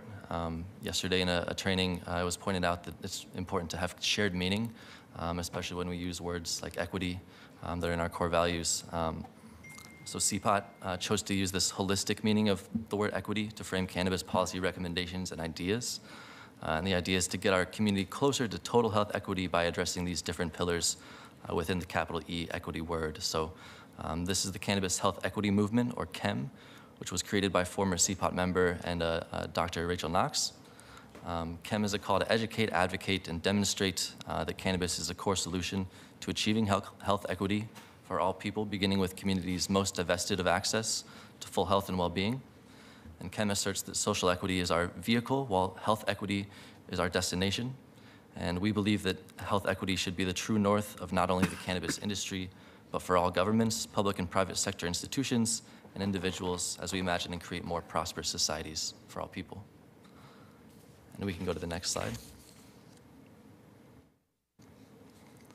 So these were the key findings that the advisory body found uh, in writing this annual report last year.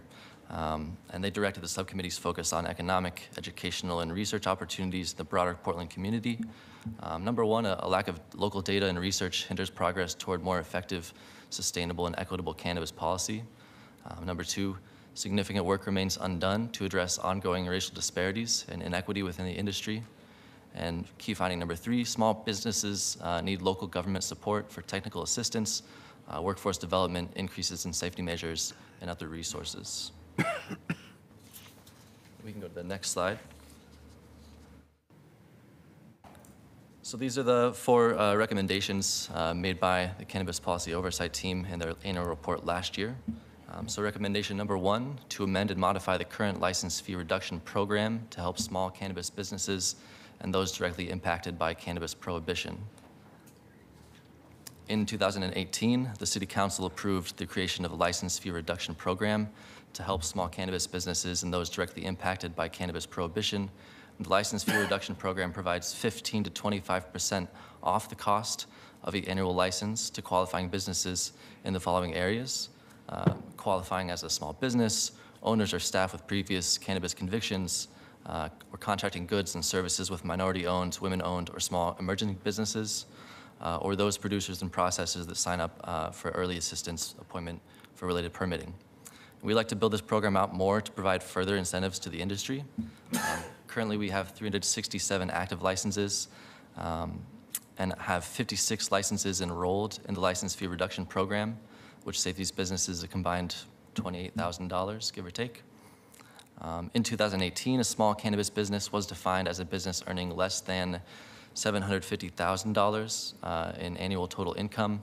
And since then, the threshold for small businesses to access this uh, program have not been adjusted to better align with uh, current climate, um, 280E uh, tax burdens, uh, commercial lease prices, or the movement towards paying a livable wage and offering benefits to employees.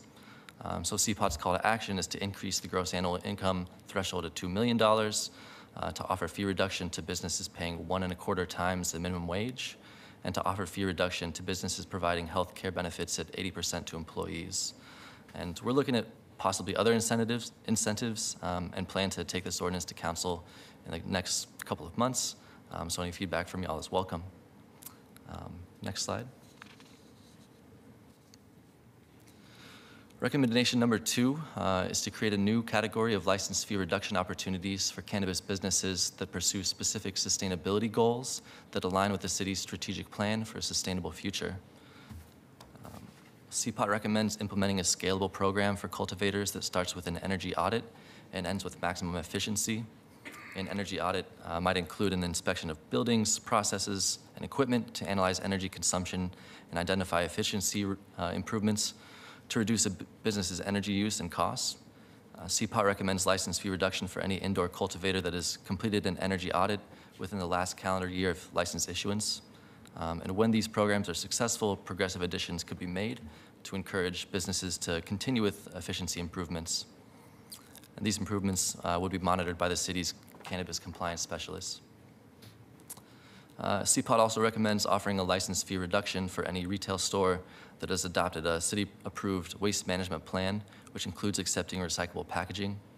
Uh, this program would require benchmarking current rates for waste, recycling, and more, and showing changes in rates of diversion and collection of consumer recyclable packaging annually. The next slide, please. Recommendation number three, uh, CPOT requests the Oregon Liquor and Cannabis Commission, or OLCC, to, re- to review and change its educational materials to reflect how the industry is operating today. And while indeed CPOT was created uh, to advise the city bureau in charge of the cannabis program, it's essential that this group has conversations and presents ideas to policymakers and regulators uh, beyond city limits. Uh, because of the complicated web of can- cannabis policy from federal, state, and local perspectives, CPOT addresses topics uh, from our community and beyond with every conversation that they have. So recommendation number three's audience is the OLCC um, and request changes to their marijuana worker permit education program, which was created after the passage of Measure 91. And since then, there have been considerable changes uh, in the operating procedures of the industry and the terminology used. Uh, and there are real concerns for safety and customer relations in the cannabis industry. And while Oregon is a trailblazing uh, in its requirement for all cannabis workers to receive education and pass a test to obtain a marijuana worker's permit, the contents of this education are out of date or incorrect with the cannabis uh, industry as it exists today. Um, so CPOT calls on OLCC to change some terminology in their materials to reflect uh, current generally accepted terminology. Um, for example, changing any instance of the word marijuana to cannabis, changing recreational to adult use, um, and CPOT recommends adding units on consumer health, customer relations, and worker safety. On July 20th of this year, CPOT members Christina uh, and myself attended an OLCC commissioners meeting uh, to present this recommendation. Natalie Darvis from CPOT gave a great explanation of the work that informed this perspective, and she fielded questions from commissioners, and they were generally pretty receptive to our, our call to action here uh, for some modest reforms um, and gave us some direction. You know, because they hear from uh, a wide variety of stakeholders. They have to ensure that the policies they adopt are in the best interest of all parties. Um, so they asked us to return with support from a broader coalition of trade organizations and advisory groups to follow up on our request with consensus from other groups that can inform the uh, proper steps are followed through changes in statute in the coming years, the legislature, uh, and through their rules advisory committees. Uh, and we can go to the next slide, please. And finally, recommendation number four um, requests that the City of Portland establish a policy to solicit public feedback regarding youth in the cannabis industry every three to five years. Um, in partnership with seed initiatives at Prosper, uh, this report would be used to better inform where cannabis tax revenue should be used to impact youth education about cannabis. Throughout last year, the Community Impact Subcommittee of CPOT reviewed data from student health surveys, the Oregon Poison Control reports, uh, and a dispensary sa- staff survey they completed. Um, with the focus on youth, the subcommittee members identified a lack of information regarding the impact of the cannabis industry on young people in Portland uh, through public health campaigns, cannabis advertising, uh, and perceptions of youth, uh, perceptions of use among youth and adults. Um, so this subcommittee recommended soliciting feedback and data collection from the Portland area community every three to five years, uh, beginning next fiscal year. We can go to the last slide. Um, thank you all for your attention uh, and, and support of our work to improve conditions for the cannabis industry uh, and folks impacted by the legalization of cannabis. Um, I'd welcome any questions from you all and, and also mention my contact information here uh, on this slide. So uh, members of the public are, are welcome to ask me questions, uh, provide any feedback as well to the work that this advisory body works on. So thank you very much. Commissioner Ryan? Oh, my hand was still up. Uh, Two things. One is you brought up youth. I just wanted to hear about the engagement with our, with the schools on that topic.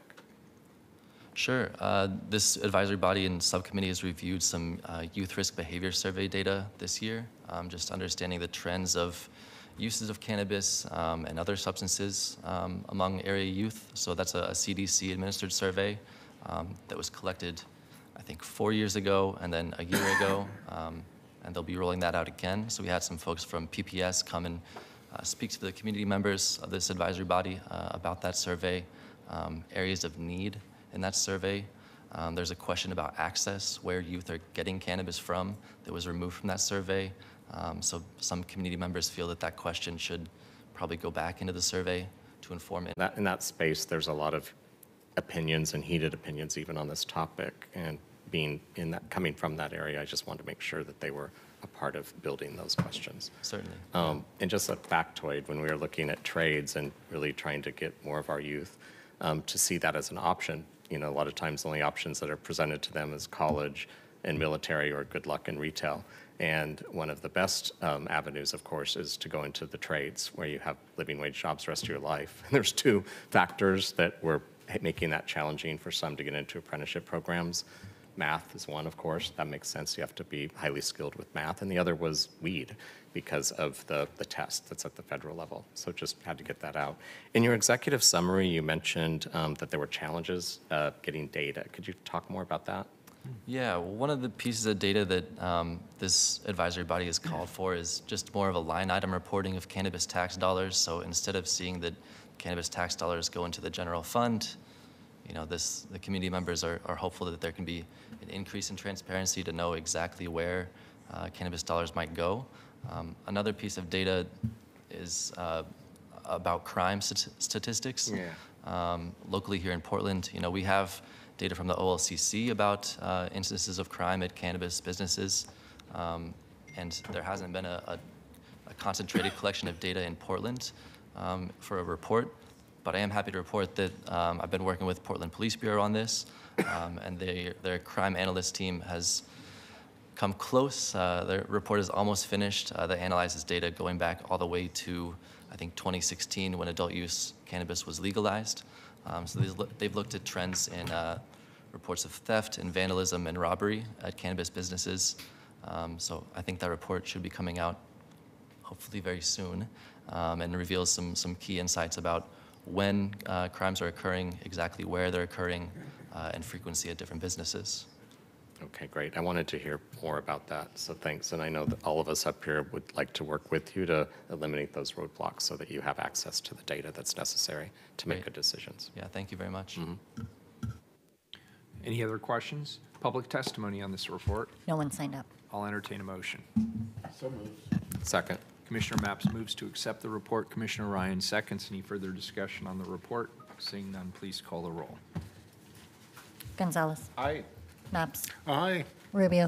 I want to thank you, Phil, for that really informative presentation and all your great work on it. Um, This gives us really clear recommendations to track as you move forward on your progress, and we look forward to hearing it. I vote aye. Ryan. Yeah, Phil, thank you for this report. And please know my questioning is because it's really important that we continue to build this industry right. I always said our number one cash crop, we're, we're, we're receiving the revenue that we should from it. Now we have to make sure that we do it right here in Portland, throughout the state. And so we have to keep leaning in, asking tough questions to make sure that this is part of an economic development strategy as well. So I vote aye. Wheeler. Aye. The report is accepted. Thank you. Thank you all very much. Item number 766, please, a proclamation. Proclaim September 2023 to be Childhood Cancer Awareness Month. Colleagues, our next item is a proclamation naming September 2023 to be Childhood Cancer Awareness Month. I'd like to welcome Dr. Stephen Roberts, who's the Division Head of Pediatric Hematology and Oncology at the OHSU Knight Cancer Institute, to present this proclamation. Good morning. Good morning.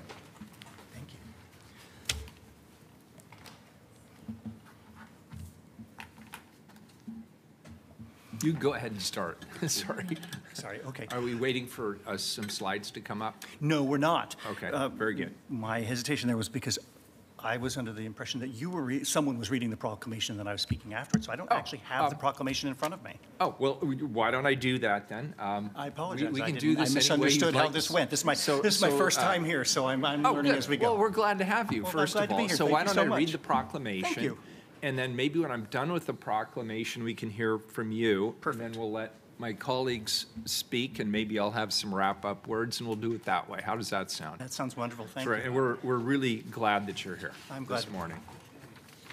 So here is the proclamation, and I want to uh, thank you and your colleagues for the assistance in drafting this proclamation, and I want to thank my colleagues as well. This is a proclamation on behalf of us and by extension, the city. Whereas the American Cancer Fund for Children and Kids Cancer Connection report, cancer is the leading cause of death by disease among U.S. children between infancy and age 15. This tragic disease is detected in more than 16,000 of our country's young people every year. An estimated 400,000 children. This happened last year, too.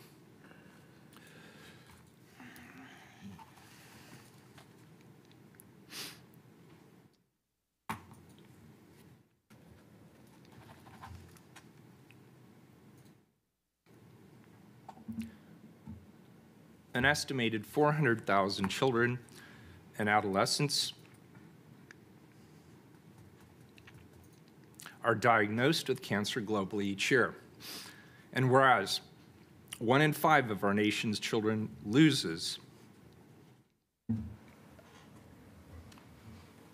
their battle with cancer.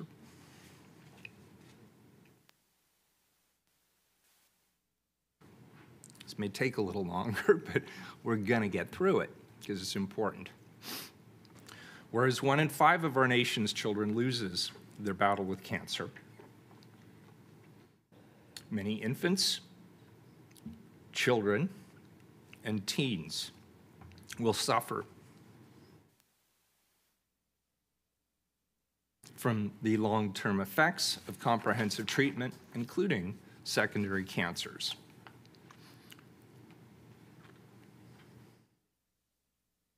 Mayor, can I help you out? I'm determined. Thank you. I do appreciate the offer. I am determined. Whereas the early diagnosis of childhood cancer is often hampered by nonspecific symptoms shared by common childhood conditions. And whereas childhood cancer impacts the physical, emotional, and financial health of the entire family for years to come. And whereas founded nearly 30 years ago by Stephen Firestein, a member of the philanthropic branch of the Max Factor Cosmetics family, the American Cancer Fund for Children Incorporated, Kids Cancer Connection Incorporated, along with Lions Club International, are dedicated to helping these children and their families.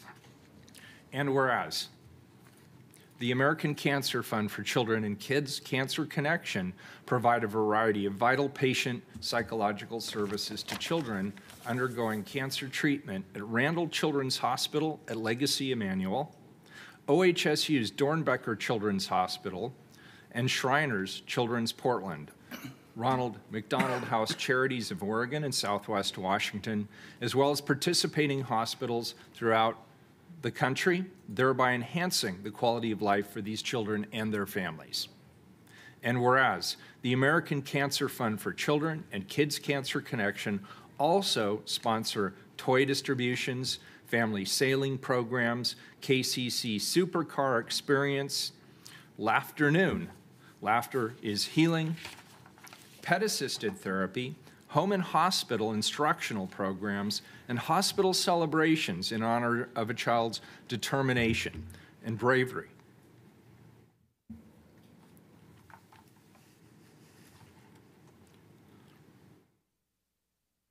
To fight their battle against childhood cancer. And whereas the state's premier academic health center including OHSU Knight Cancer Institute and Doernbecher Children's Hospital, have distinguished themselves in research and patient care in both adult and pediatric cancer cases and have contributed, contributed significantly to the overall understanding of these diseases and their management. And whereas too many children are affected by this deadly disease, and more must be done to raise awareness and find a cure. Now, therefore, I, Ted Wheeler, Mayor of the City of Portland, Oregon, the City of Roses, do hereby proclaim September 2023 to be Childhood Cancer Awareness Month in Portland and encourage all residents to observe this month. The wording of this proclamation is important. We mean it deeply. My delivery was not up to par. I've set a low bar for you. Um, why don't we hear from you next, and then we'll hear from my colleagues. Thank you for being here. Thank you, Mayor Wheeler. I really appreciate you reading that. Thank you. Um, As, uh, just to introduce myself again, my name is Dr. Stephen Roberts. I have the privilege of serving as the head of the Division of Pediatric Hematology and Oncology at Doernbecher Children's Hospital at OHSU. I'm also the Associate Director for Pediatric um, Oncology um, of the Knight Cancer Institute at OHSU and a Professor of Pediatrics there. Um, I'm really, really grateful for the opportunity to be here and uh, for this proclamation, and so thank you all for that. Um, as I start, I would specifically like to acknowledge that anybody that may be present today, whether in person or online, who may be walking this road, who may be facing or has faced um, childhood cancer. This is, it is hard. And, and I, I want you all to know that we're aware of you, that, that we care about you, that we are here to help you, and you're not alone. So, childhood cancer for some listening today, for some here today, you probably didn't even know this was a thing. Kids get cancer? Well, yes.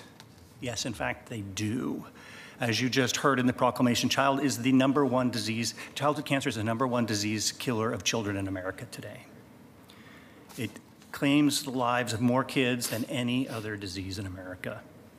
Now, that's not to imply that other diseases are not also tragic or important, but it does highlight the need for proclamations such as this and the awareness of this very real problem that we face. But what does it really mean? When I say it's the number one disease killer, what does that actually look like? Let me put this it this way. Imagine for a second with me a classroom full of children. Okay? Think about an average sized classroom full of kids, 20, 25, 30 kids. Well, an average sized classroom full of kids will die from cancer today and tomorrow and every day, all year long, this year and next year. That, that's what it really looks like. Think about, say, a first grade classroom in an elementary school nearby. Think about those kids full of life, promise, potential, excitement. It's gone. Tomorrow, picture that next class. Gone. I just want to let that sink in for a minute. But not here just to be uh, negative and it's all, all, doom and gloom. Um, the reality is we've made incredible progress in, taking, in, in, treating children with cancer. Childhood leukemias, the most common form of cancer uh, in children, was 100% fatal in the 1960s. It was a death sentence. If you were lucky, you got a couple of months before your child died.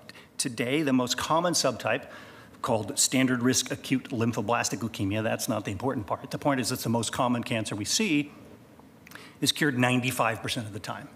And when I say cured, I mean cured. I don't mean in remission, but it's probably going to come back someday. I mean gone for good forever. Those kids are going to grow up and go on and become adults. And I think that's amazing. And that's another thing that when we talk about childhood cancer awareness that we all need to be aware of, that we actually do cure today a lot of these kids.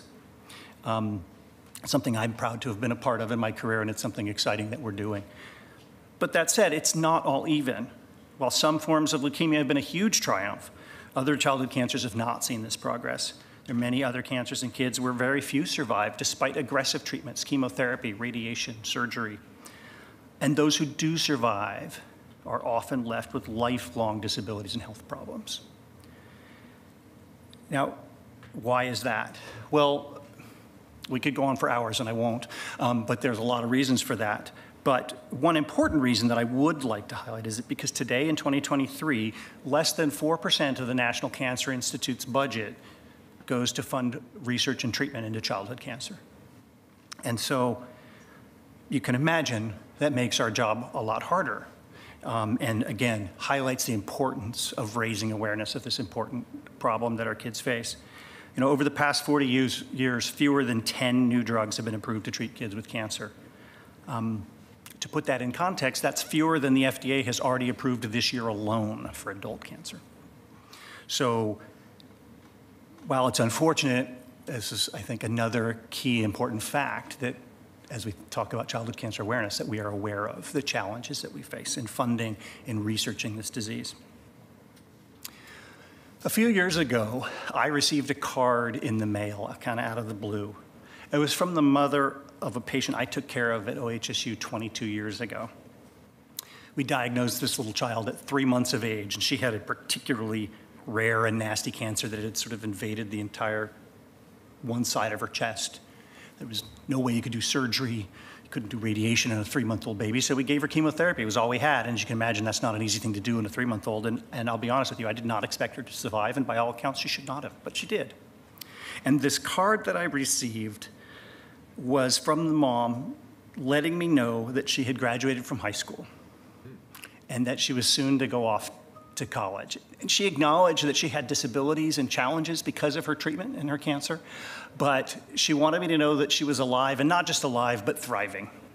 And and I have been privileged to take care of kids like that for my entire career, and I'm grateful for that opportunity. And so, as I close today, what I would, if I could be so bold, what I would say is that while awareness is important, it's the critical first step, it's not enough. And my hope today is that some, someone listening, that someone would, would hear about this and be moved to move from awareness to action. Because alone we can't do this, but with help from others together we can. And I firmly believe that we will end childhood cancer. And so I thank you for your attention and for your proclamation. Commissioner Mapps, c- can, can you let me get one question in here? But- So, uh, action in your mind looks like what? When you say, let's, let's move away from awareness towards action, if, if you, you know, looking back on your career, if you have a top one or two or three wishes about where we go in terms of action, what, what would you say?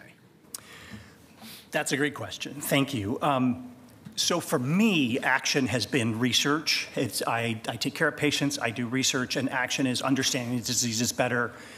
It's, it's advocating for a better and improved funding to, to study these diseases. I think for the average person who's not a physician, who's not a pediatric oncologist, I think there's so many ways that people can be involved, whether that's simply being a volunteer up at Doernbecher, coming to 10 South and spending time with these kids, you know, and helping these families. It's an incredibly difficult time.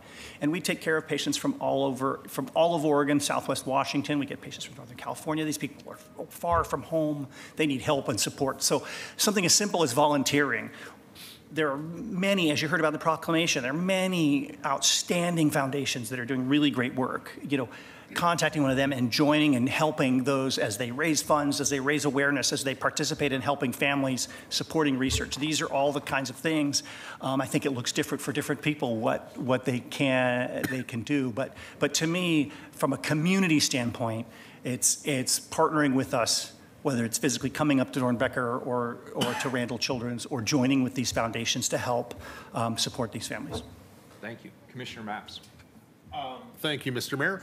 Um, I want to thank the good doctor for joining us today. And uh, Mr. Mayor, I want to thank you for setting a high bar, which underscores how deeply the resolution before us today resonates with the people of Portland. And colleagues, I want to say this. I am proud to join you in proclaiming September 2023 to be Childhood Cancer Awareness Month here in Portland, Oregon. over the past 50 years, researchers have made enormous advances treating kids with cancer, but as we heard today, there is still a lot of work left to do. Today, cancer remains the leading cause of death by disease for American kids under the age of 15.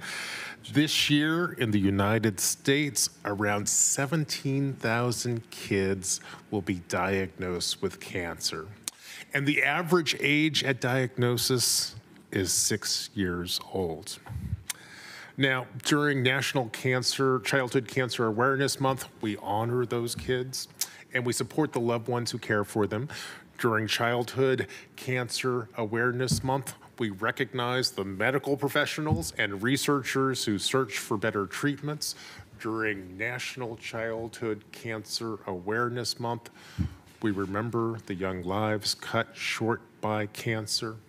And during National Childhood Cancer Awareness Month, we recommit ourselves to ending cancer as we know it. Now, colleagues, I believe that we can create a cancer-free future for our kids.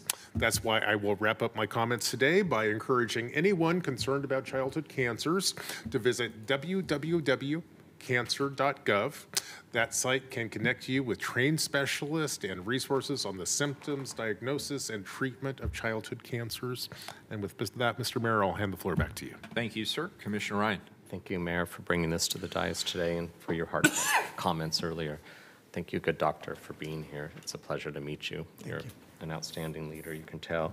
I wanted to um, just acknowledge the hardworking people at Doernbecher and your colleagues at, um, at Randall's Children's Hospital. I think there's two Ronald McDonald houses in Portland. I'm sorry? Are there two Ronald McDonald houses in Portland? Are there two? I know, I I should know that, shouldn't I? I- No, I- it's There's okay. one, yeah, there's But we for sure thank them one as over by well. Randall's, and then there's the Rood Family Pavilion at Yeah. at OHSU. That's it. And I just wanted to acknowledge the employees that work with the families day in and day out. And I'll just tell a brief story. A dear friend from college, um, she works at Doernbecher. Her name is Susan Sherwood. She's a child life uh, specialist.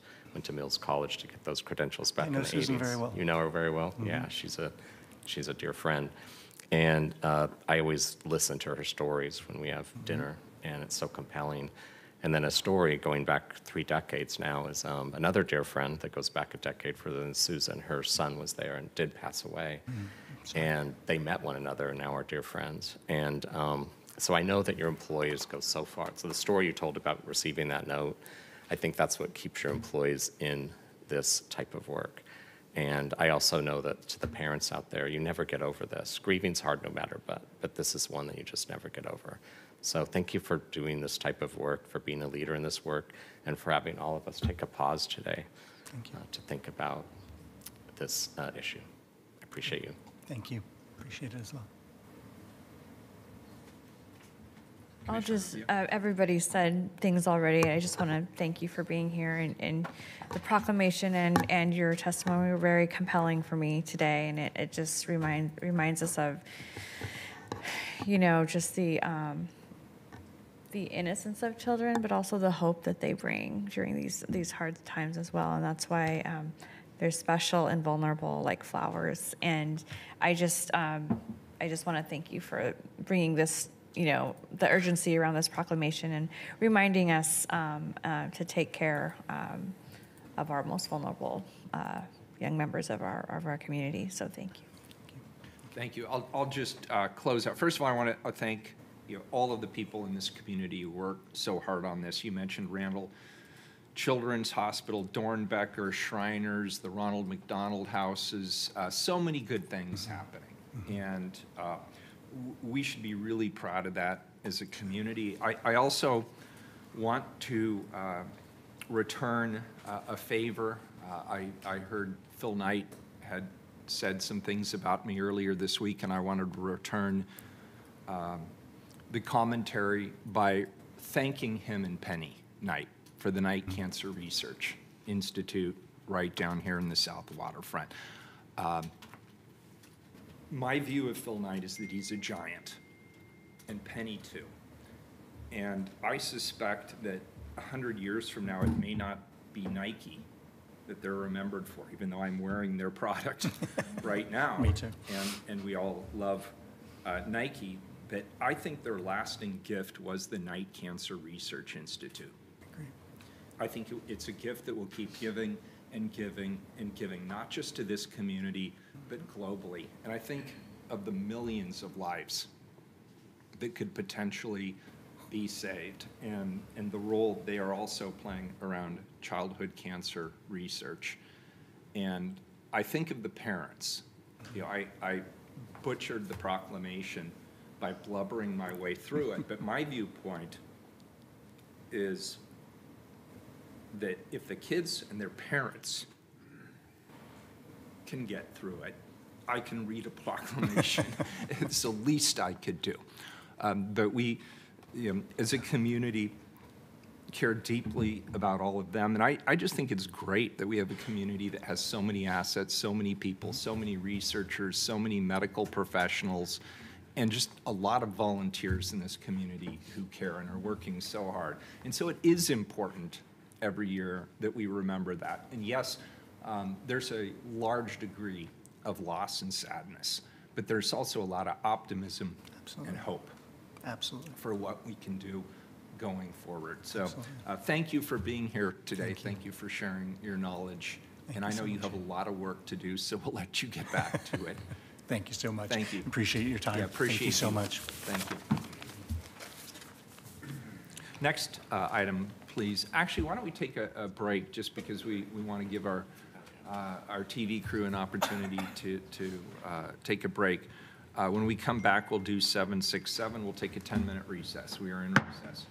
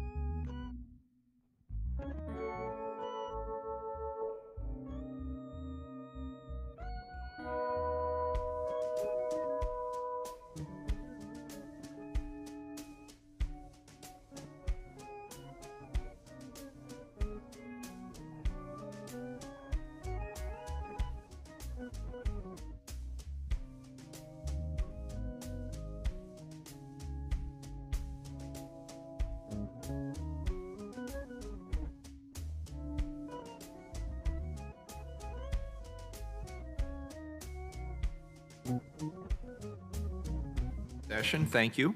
Uh, First item, next item up is 767, please, a report. Appoint Aga Zain to the Noise Review Board for term to end September 12th, 2026. Commissioner Rubio. Thank you. The Noise Review Board is an advisory body reviewing certain noise or variances for projects that range from nighttime construction projects to large outdoor concerts. And the board also works to develop long-term objectives for reducing sound levels in the community. The Noise Review Board members serve as a voice for the community and for industry, seeking to balance requests for noise variances with community livability concerns.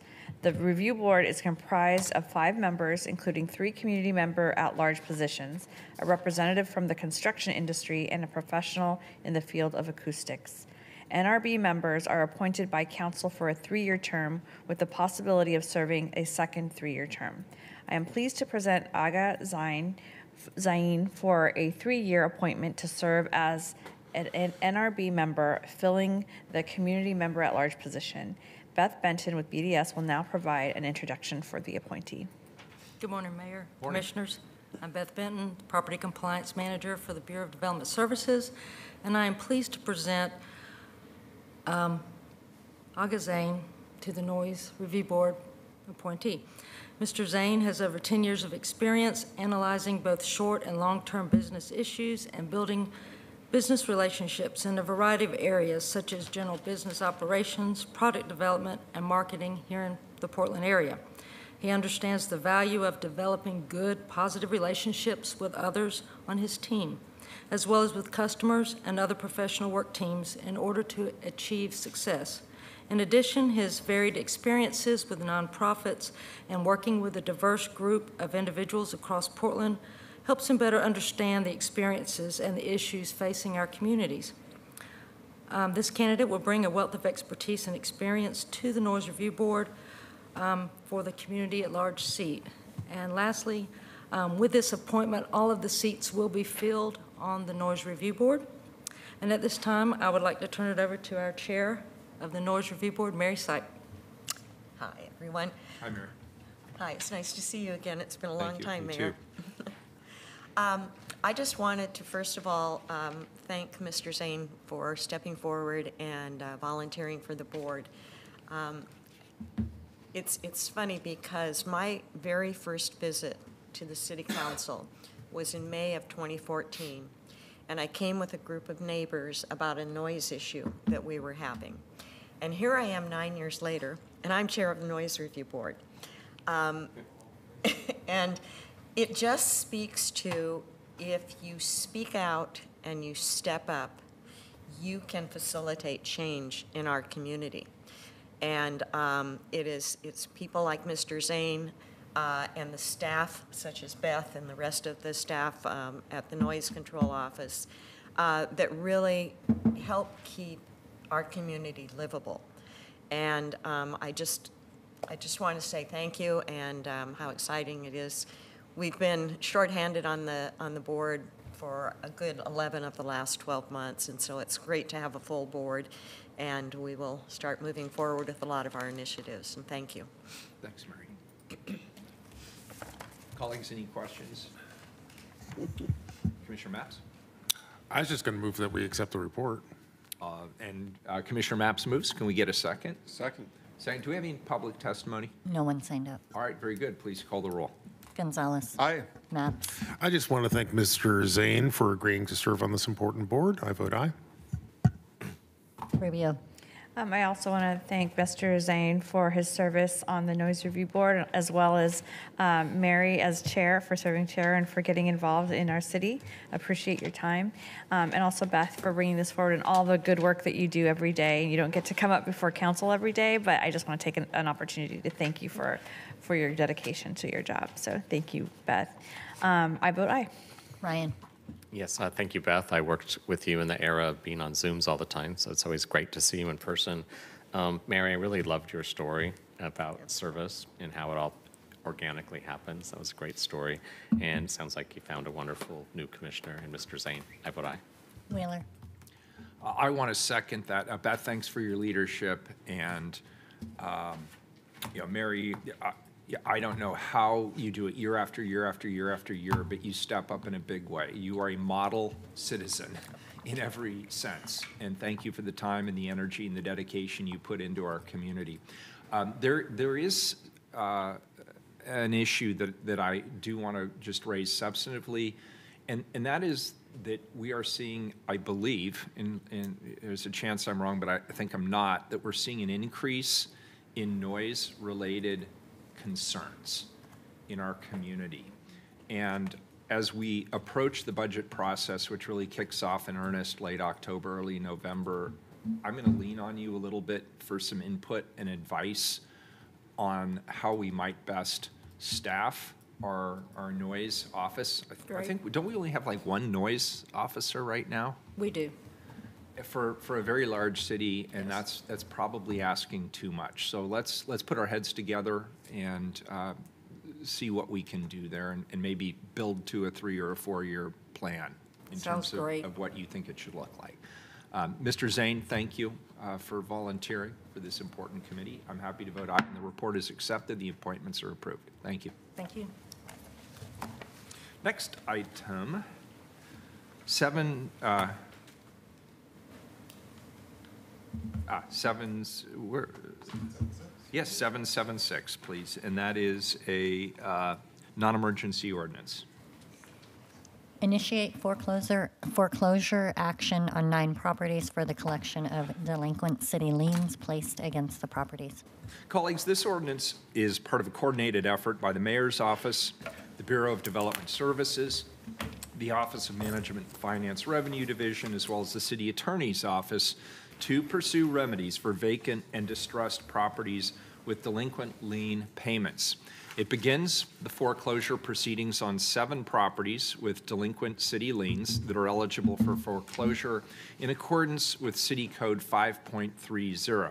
The liens were placed against the properties by the Bureau of Development Services for code enforcement violations, various nuisances, nuisance abatement, and/or chronic offender violations. These properties have been identified as causing significant problems for neighbors. They are the subject of multiple and frequent police calls and numerous enforcement activities. The Revenue Division works closely with BDS to identify properties with delinquent account balances, many of which are designated as vacant and distressed properties by BDS's Extremely Distressed Properties Enforcement Program. Kevin Foster, Foreclosure Prevention Manager, and Sharon Nickelberry Rogers, Budget and Lien Supervisor, are with us today to take us through this item. Welcome. Good morning, Mayor, and good morning, Commissioners. For the record, I'll state my name, Kevin Foster. I'm the Foreclosure Prevention Manager in the Bureau of Revenue and Financial Services Revenue Division. With me today is Sharon Nickelberry Rogers, Supervisor of the Budget and Liens Team with the Revenue Division. Also here is Mike Leafield, Property, Compli Property Compliance Division Supervisor with the Bureau of Development Services. Joining us virtually is Bridget O'Callahan, the City Treasurer, and Dan Simon, the Deputy City Attorney. And, and, I'm sorry to interrupt, but while you're switching slides, as, as you know, I'm going to make three amendments. Are, are you going to discuss those before or after? Uh, during the present. Very good, thank you. Next slide, please.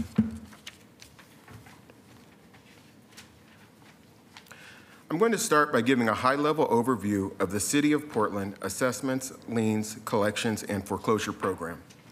Assessments include code violations, nuisance complaints, also various activities for new developments and infrastructure improvements.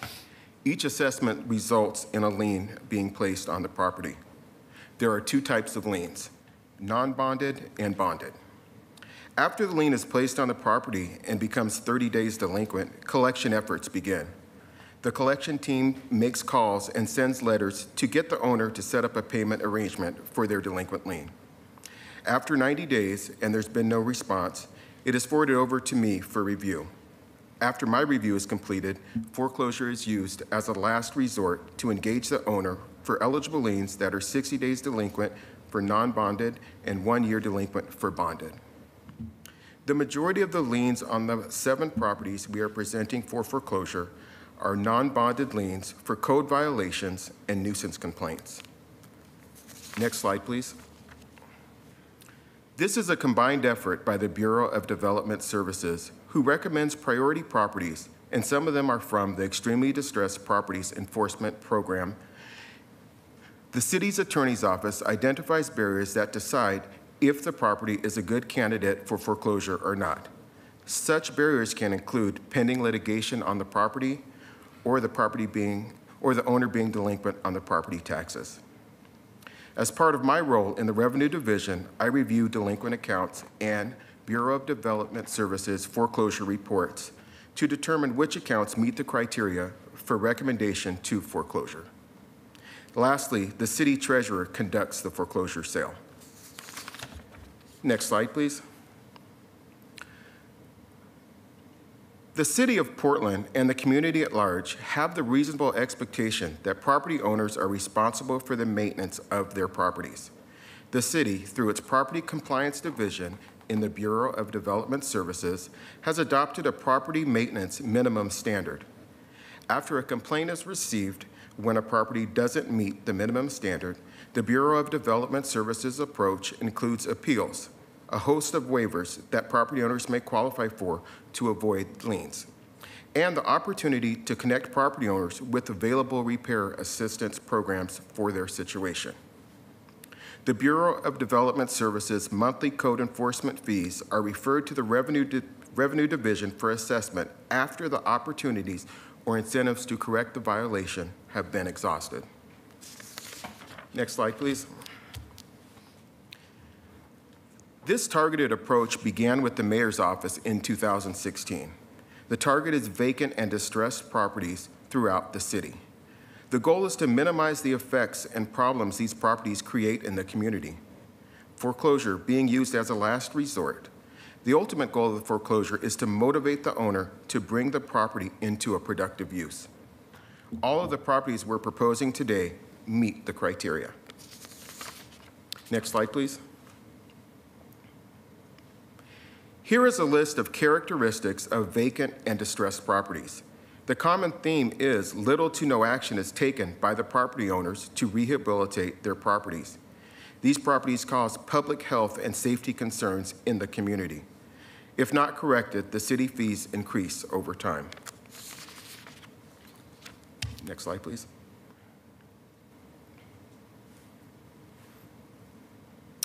The city offers many opportunities to property owners to correct the violations and solve the delinquencies on their properties.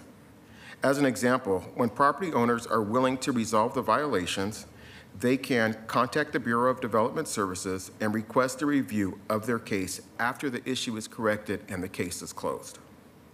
Once that review is complete, the amount owed is typically decreased. Then the Revenue Division will provide a payment plan that allows the property owner to repay the amount owed in monthly installments, which can go up to 60 months. Another example is the Bureau of Development Services Amnesty Program which is a one-time program offering automatic reductions once the case is closed. The owner, the owner can also work with the Bureau of Development Services to obtain a waiver. The owner as the opportunity to get on a payment plan arrangement with the Revenue Division.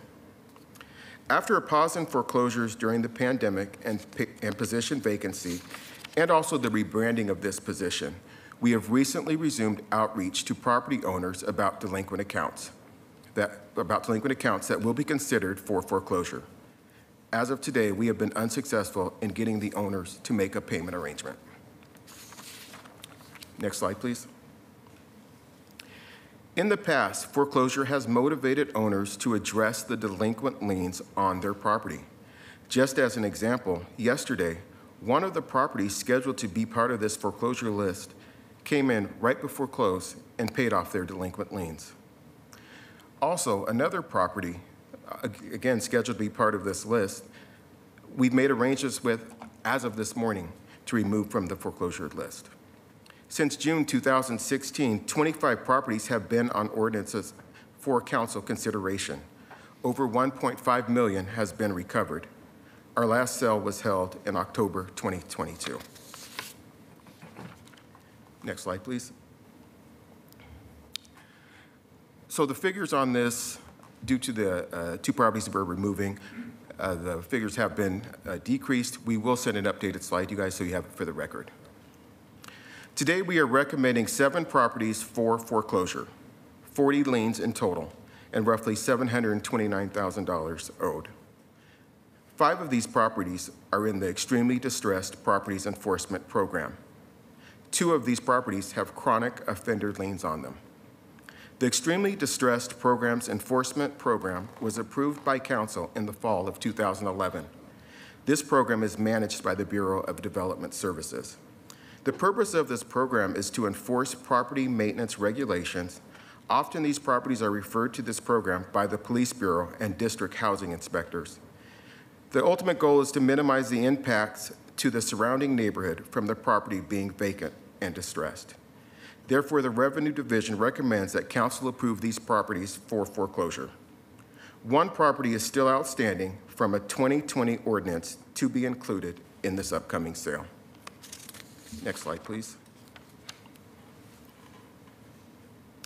In order to stay true to our city values, we wanted to look at equity in this process and ensure that Black, Indigenous, and people of color are not being disproportionately harmed.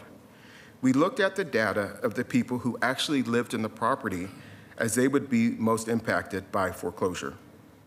We used census data from 2020 provided by the Population Research Center, which confirmed at that time 87% of the properties were vacant and that BIPOC community, community members would not be impacted if we proceeded with foreclosure. In August of 2023, the Bureau of Development Services sent out an inspector to each of the properties and confirmed that all the properties are vacant. Next slide, please. The first property is located at 1225 Northeast 109th Avenue. There are three liens against this property. The oldest one dates back to 2018, and there's roughly $33,000 owing. The property taxes are delinquent for 2022. The property has been the subject of complaints for disabled vehicles and nuisance complaints. This property has been vacant since 2015. There has been police involvement at the property. In the last 60 days, we've sent out two certified letters to the owner. The owner is represented by counsel, and I've spoken with the attorney as recently as yesterday, who informed me they are working to clean up the property and they plan to sell the property. Next slide, please. The next property is located at 9124 Northeast Prescott Street. There are five liens against this property. The oldest is from 2015, and roughly $119,000 is owed. This property is an extremely distressed properties enforcement program case. The property is the subject of periodic complaints for squatters and campers on the property. The property is deteriorating, with portions of the building open, exposing it to weather. There has been police activity at the residence and in the nearby vicinity. The property taxes are three years past due. In the last 60 days, we've sent out two certified letters to the owner, and we've been unable to reach the owner by phone. Next slide, please. This is the property that we're actually, this is one of the properties we're removing from the list. Um, Next slide, please. Yeah, go, go ahead. Could you just clarify why we're- why we're pulling uh, some of these properties? Yes. So this property, we've met with the owner this morning, and we're working on arrangement to resolve the delinquent liens. Okay, and these were, these were property taxes as well here? This one. Let's see. No, on this one, the, the property on Beach, they're not delinquent in their property taxes. High level, what was the amount, uh, where were the drivers of the 391,000? Uh, There was a, um, let's- yes, please.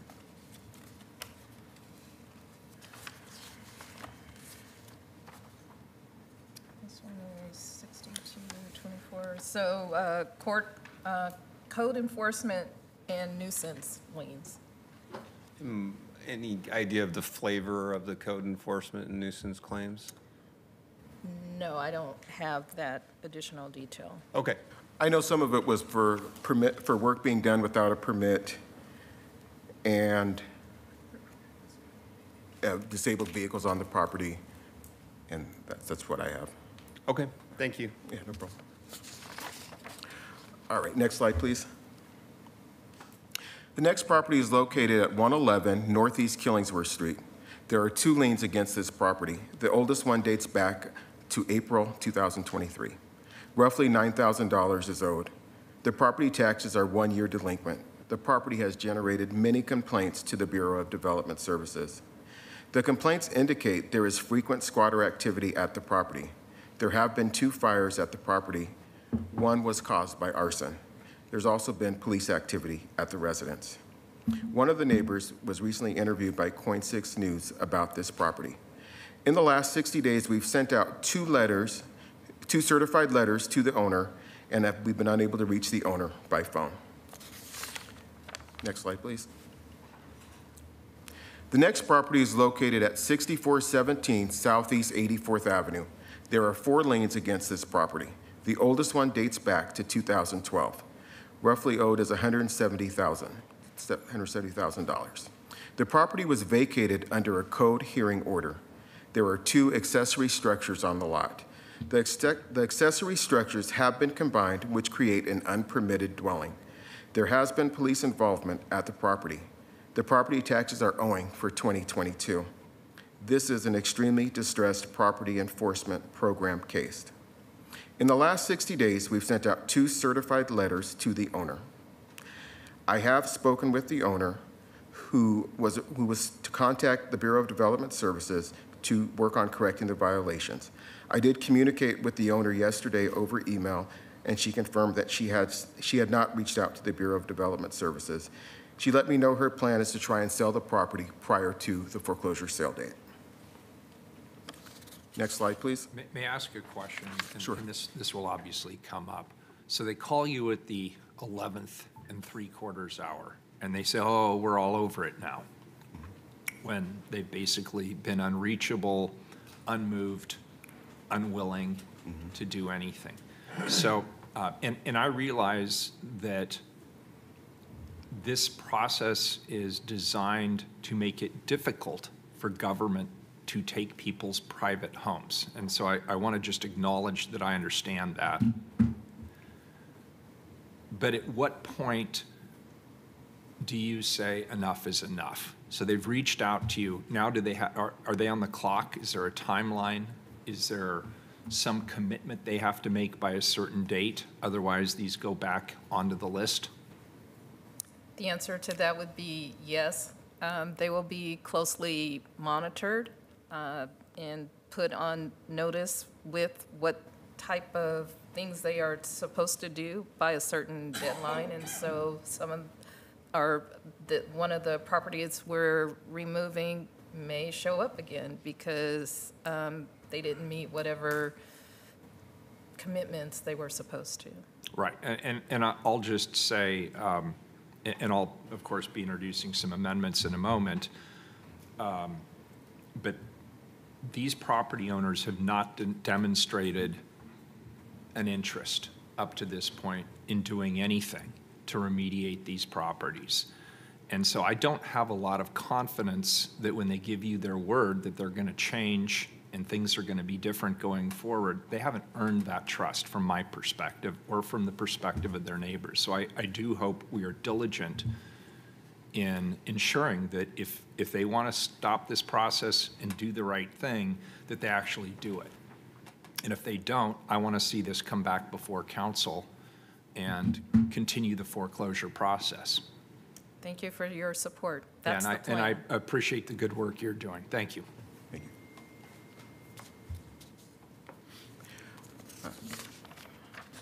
The next property is located at 6402 Southeast 103rd Avenue.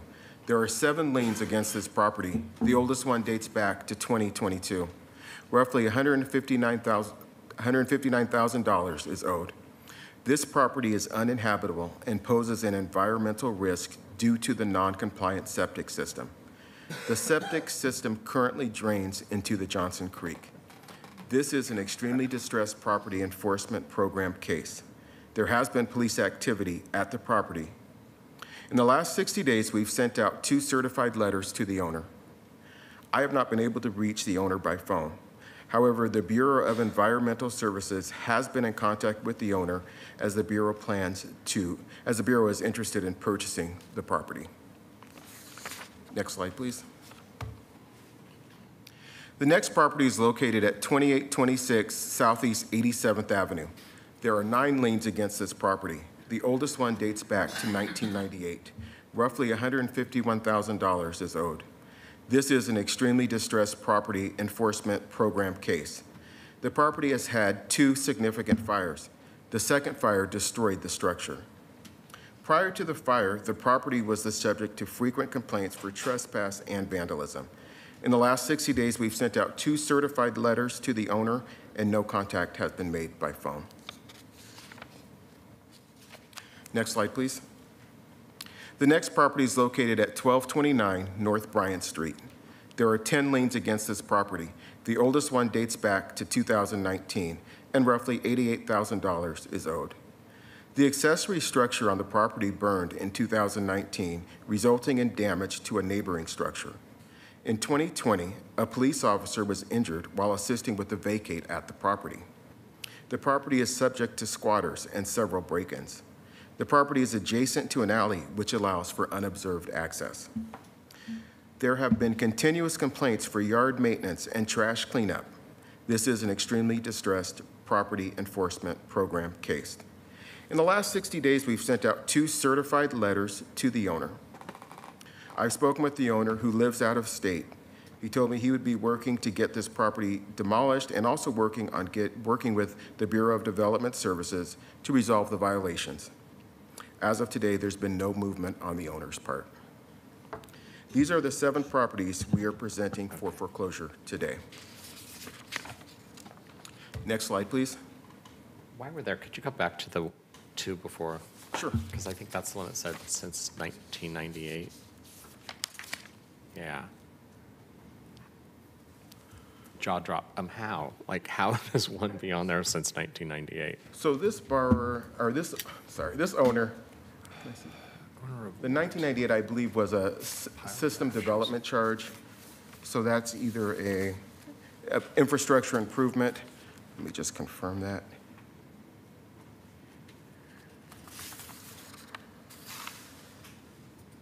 Yes, it was a system development charge, and they, at, they were actually on a payment plan and did make payments up until 1998 when they defaulted. Okay, but since 1998, there's been frequent concerns. Well, the next lien didn't come on until 2010, and at that time, looks like left blowing on that original lien from 98 was like $3,000.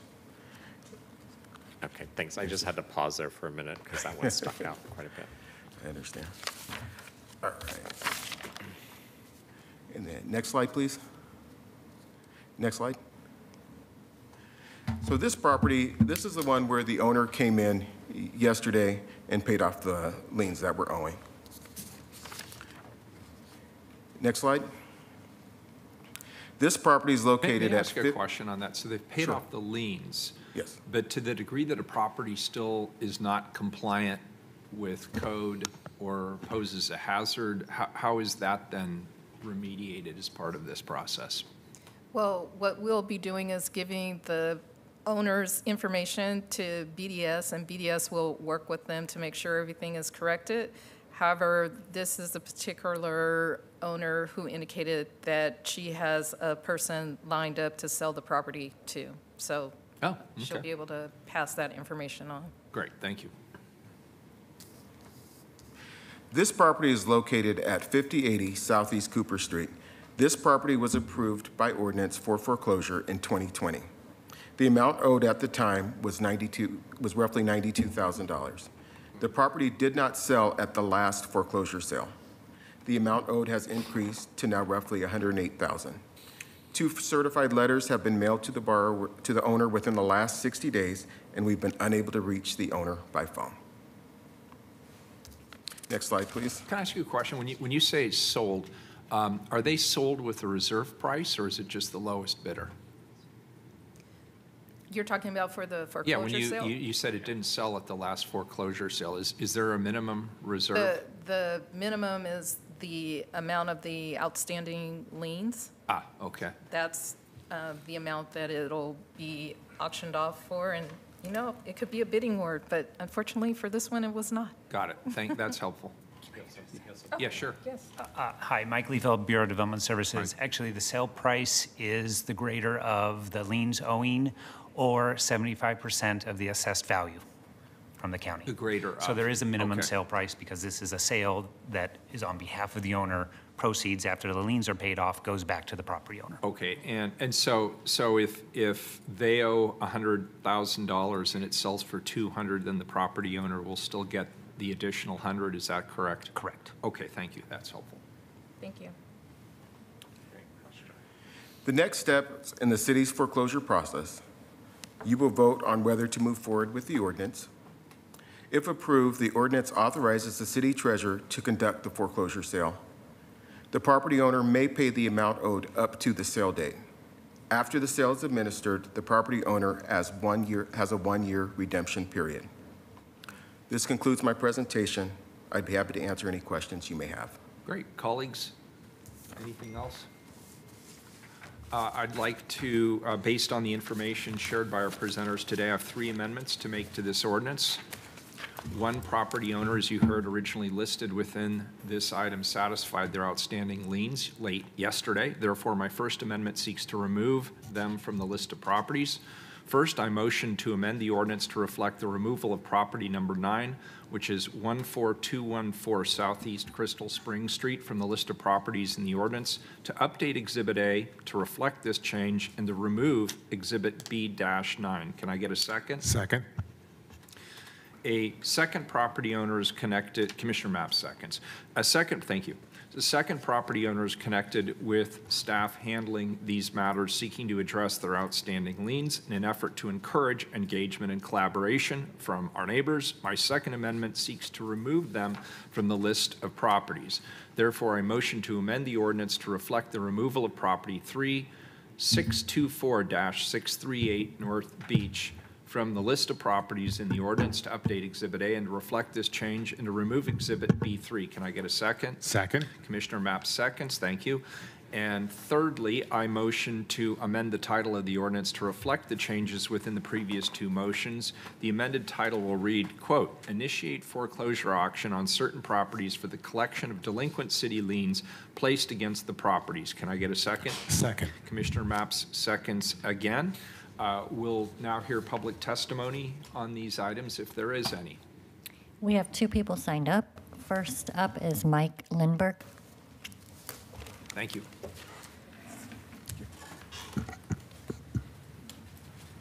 Welcome back, Commissioner. Thank you very much. It's been a while. Was glad to see uh, Robert Butler testify Yeah. before the hearing today. I recall that 43 years ago, today, he was in the council chambers as it was then to start his citizen testimony at the 9:30 time slot. Wow. Mr. Mayor, members of the City Council, my name is Mike Lindberg, and I was asked to help several property owners in Northeast Portland with, a- help them with a significant problem that they had in terms of an adjacent property that had, a- provided a substantial nuisance. Since an absentee owner bought the property at 111 Northeast Killingsworth in March of 2022, the neglect has presented one problem after another, more and more severe as time has gone on. You heard reference sometime to Nightmare on Elm Street. Well, the neighbors feel this has been a nightmare on Killingsworth Street. You have a report before you from the Bureau of Development Services which describes very specifically the nature of the problem. 20 911 calls to police and fire, crimes, squatters, garbage, no matter, even if there's been notification to board up the property, it was not boarded up, meaning the property frequently has just been completely open. Um, And in fact, I drove by it a couple times myself and took a number of photos. uh, And uh, it was just kind of unbelievably bad in terms of the state of the property. I particularly take note in terms of not only the police calls, but the impact that this has had on the Fire Bureau.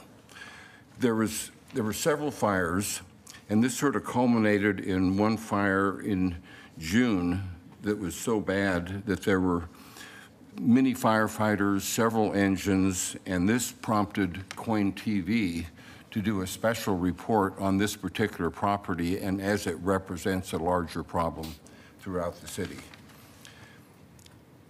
The- at- During that last fire, where the flames, and I have a video of it for anybody that would like to look at it in more detail, flames going extremely high in the neighborhood, neighbors hosing down their home to prevent the spread of fire. I'm here today to simply testify to have you support the foreclosure that's on the city council agenda.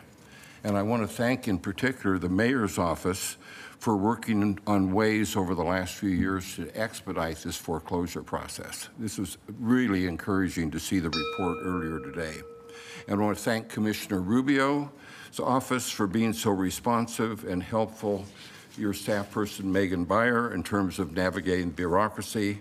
Thank Commissioner Gonzalez's office by making Tom Miller available to, so that they could really get a look at the impact on the Fire Bureau um, and the Bureau of Development Services itself, which has been extremely helpful. So with that, I'd like to thank you for your time. Thank you, sir. Appreciate Yes. your being here. Next up, we have Randall Baker. Welcome, Mr. Baker. Thanks for being here. Commissioners. I'm Randall Baker. I'm an attorney here in Portland, and I represent Lori Smith. She's one of the um, property owners listed in the agenda before you, and it's property 1225 Northeast 109th Avenue. And I'm speaking here today uh, in supplement of the written materials that I just submitted yesterday. In submitting those materials, um, we indicated that we support the agenda before you with changes.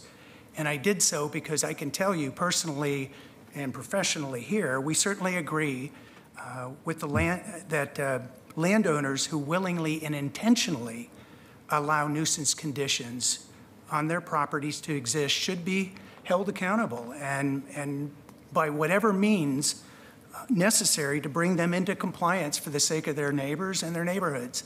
I personally have lived on a block with a home like this, and whether there's trouble going on at it or not, you still have the knot in your stomach thinking there's going to be.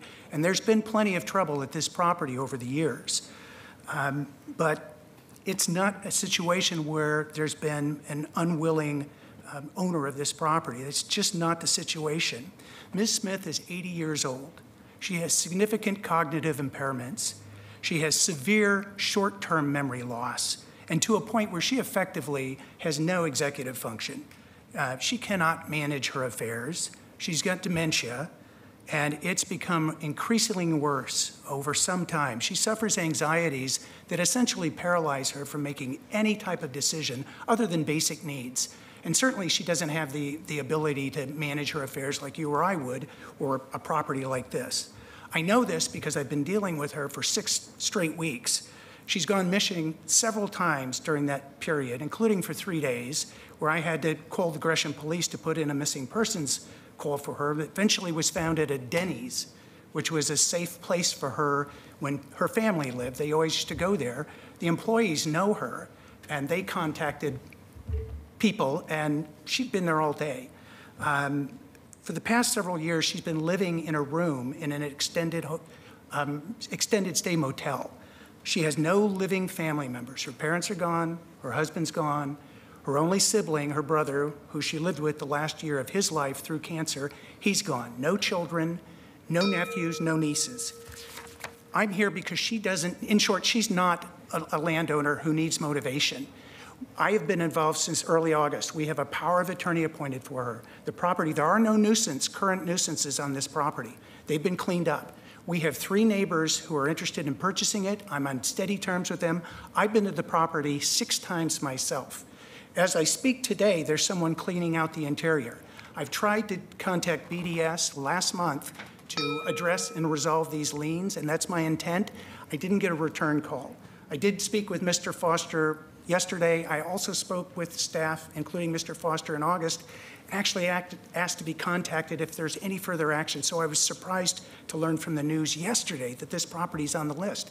We have been in swift action for the last five weeks. We don't need any motivation. The liens on this property are 32,000. We're going to resolve those. I want to resolve them this week. And we hope to sell this property still this month to one of the neighbors. They have put up with this property for far too long. They're the ones who, who should reap the rewards of this property being cleaned up. And I can tell you, if Ms. Smith truly understood the condition of the property and the stress she's put on her neighbors, she'd be ashamed. She truly would. She's not a bad person. She just simply has not had the ability. These notices from the city, I was delivered banker boxes of mail. Notices from the city, notices from utilities, notices from other entities, unopened. These have gone on, they've been collected from her P.O. box or in her motel room. They're simply not opened. So I ask you to approve this agenda, but make an exception for this property even if we could have 30 days to address the issues. That's all I need, because we've come, the neighbors will attest how far we've come in the last five weeks. I'll take any questions. Commissioner Mapps. Uh, Mr. Mayor, I'll just kind of turn this one back to you or staff. Or could we have, maybe we could have staff come up? Or I'll just, um, let me make a statement, uh, which is I, I appreciate you uh, being here today, and I hope um, that staff can work with you to s- resolve this situation. I mean, off script, I, I, I, re- I, I represent to the council, I will make this happen. In case you can't tell, I'm, I'm invested with this Yeah, yeah. client. She's, she's a really sweet person. She really has been drifting out there alone, though. Yeah. It, it's true. Uh, Thank you. I'll lower my hand now and Thank you. see how the discussion evolves. Thank you, Commissioner. Commissioner Gonzalez. Just two quick follow-up questions. So you have been retained by Mrs. Smith to represent her in this matter, or The reason I'm involved is an acquaintance from out of state just happened to come into town in July. Met with her, realized what, how severe her condition was, found some sort of letterhead from a matter that I represented her several years ago, very limited representation. Frankly, I recognize she had some trouble then. It's far worse the last three years. He contacted me and brought her into the office. Um, her, her memory span is about 10 minutes. She, she's missed appointments with me. I can call her today, and she's not going to really understand a lot of what's going on. But I guarantee you, if she saw the property and understood what she'd done to her neighbors, she would be the first. Uh, She's broken down to me. She's really, frankly, ashamed of her cognitive. She recognizes she has impairments, not to the extent they are. But um, that's how I got involved. This, this person, who since now is her power of attorney, and since he came on board, since we put together a team to try to address these issues, we're, we're moving really swiftly. I know the enforcement officer, Mark Davis, the nuisance officer, if he went out there today, he wouldn't recognize the property. Um, Again, the neighbors can attest to it, and we're really hopeful that one, got three of them who are interested, that we're going to sell to them. Well, I just, the, the reason for my question, just to be crystal clear, is, you know, if you've been engaged and you're representing her, you know, the at minimum, you being notified uh, is a reasonable expectation. If it's, if there's some ambiguity as to whether there's an engagement and you're in fact representing her, then that's, you know. Absolutely a- a- a representing her. little- A little different dynamic, but, um, I am surprised that, that as of the third week of August, I made it very clear that if there's any problems with the property, if there's any indication that anybody's moving forward with enforcement, please contact me because, and, and Mr. Foster referenced some notices that were sent out fairly recently. Those might be sent to the air. She, she just didn't get them. And if anybody had called me, I would have been on it. Um, And I really have reached out to BDS. I didn't have the right number. The first number that I was given by city staff, I just found out yesterday. They asked me, why are you calling this number? I finally reached a human. Nobody had returned my calls. And I got a hold of property compliance and left actually a message for Mr. Liefeld. Um, And in fairness to him, it was late yesterday afternoon. I didn't realize it was going to be here. I read a news article uh, on my phone yesterday and realized this property's on this agenda today, and I had no idea um, that it was going to be. So I'm just asking for 30 days, if we can table, bring it back on. Mayor, I agree with you. It's not an 11th hour rush, um, you know.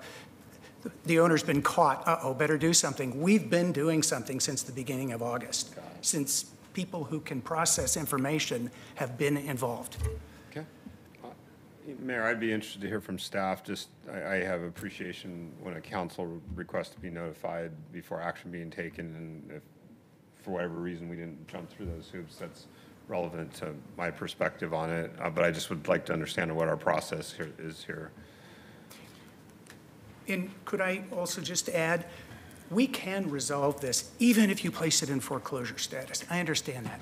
But invariably, there's probably going to be additional expenses. She can't afford that with what we've already expended to bring the yard, the interior. We're talking like $10,000 to clean up the interior of this property. And um, frankly, there's a stigma to it too, which I'll have to tell her that it's in foreclosure. And uh, if we can avoid that, because you need somebody motivated, I'm motivated. We're going to get this done. I, I wish you owned the property. Um, You had uh, a question for staff? Mike Liefeld, Bureau of Development Services. I, I think we certainly appreciate Mr. Baker's uh, attention to this issue now. Uh, The city's process to bring this to city council for a foreclosure vote upon second reading simply just keeps that process moving. So if council does vote to foreclose on it, the next step is preparing a sale, which is going to happen 60 to 90 days later. So there, there's quite a bit of process timeline that's afforded to an owner to still pay off the liens and remove it from the list.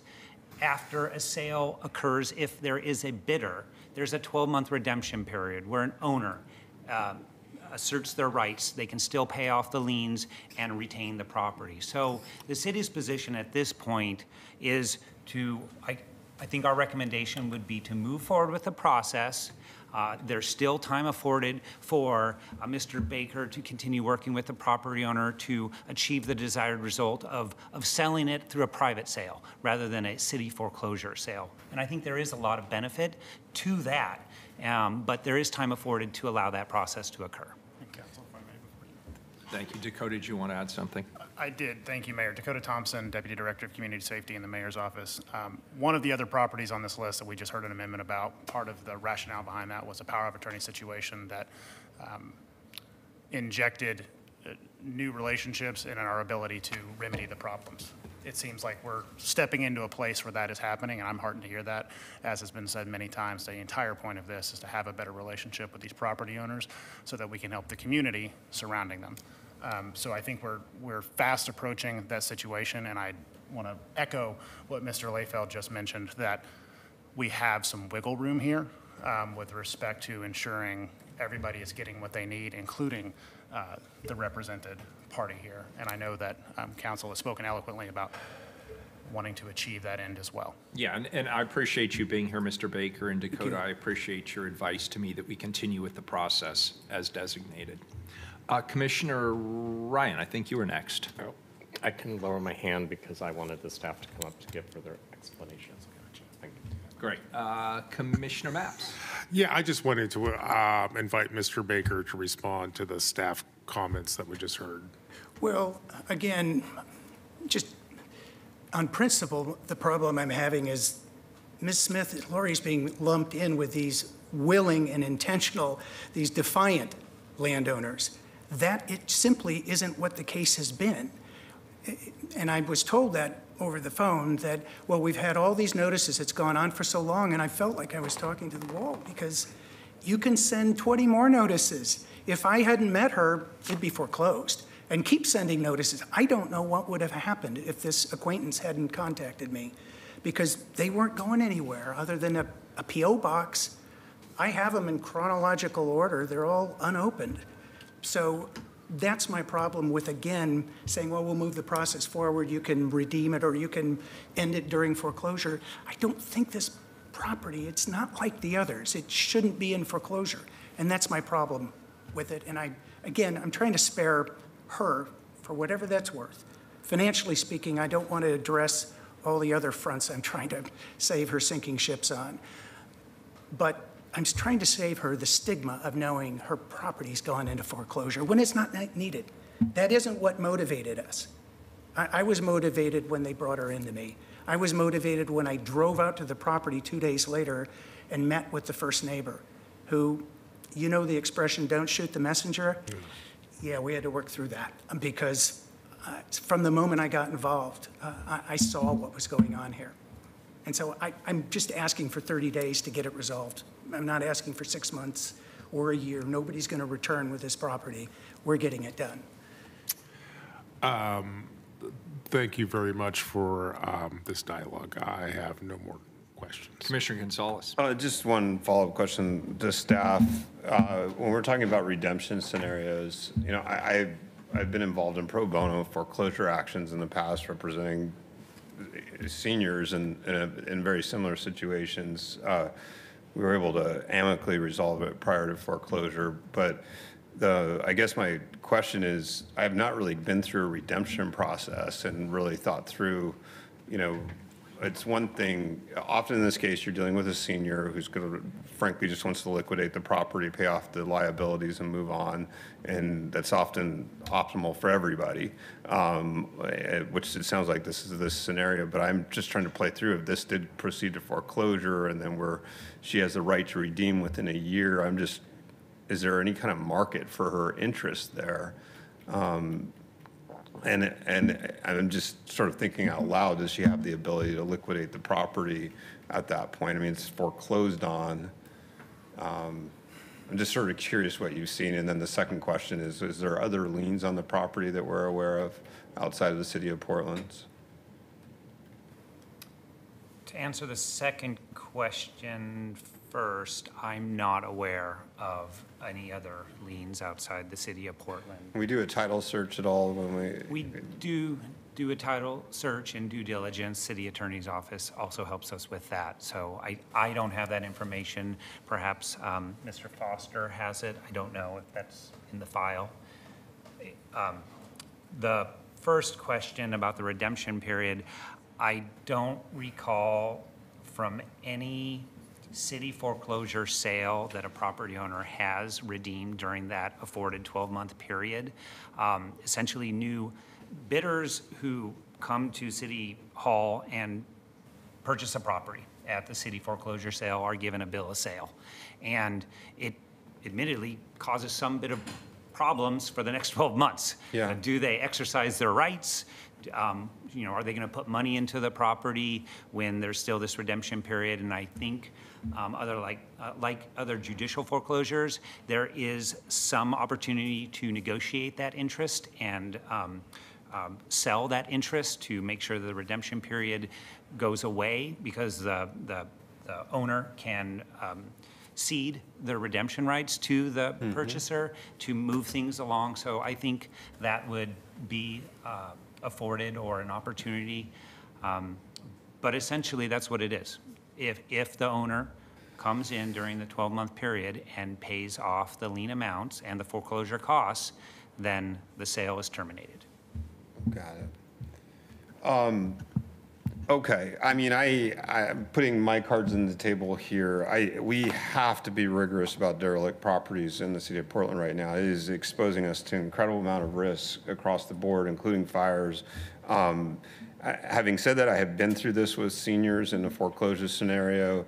Um, When you have someone represented by counsel, um, I think trying to find a third-party sale is going to maximize the pie for everyone involved uh, outside of foreclosure if we can, if we can do it. Um, So I would be open to removing this one at this time if we have some assurances we can keep it on a tight, tight leash. You have them from me. I should add, she's not living on her own any longer.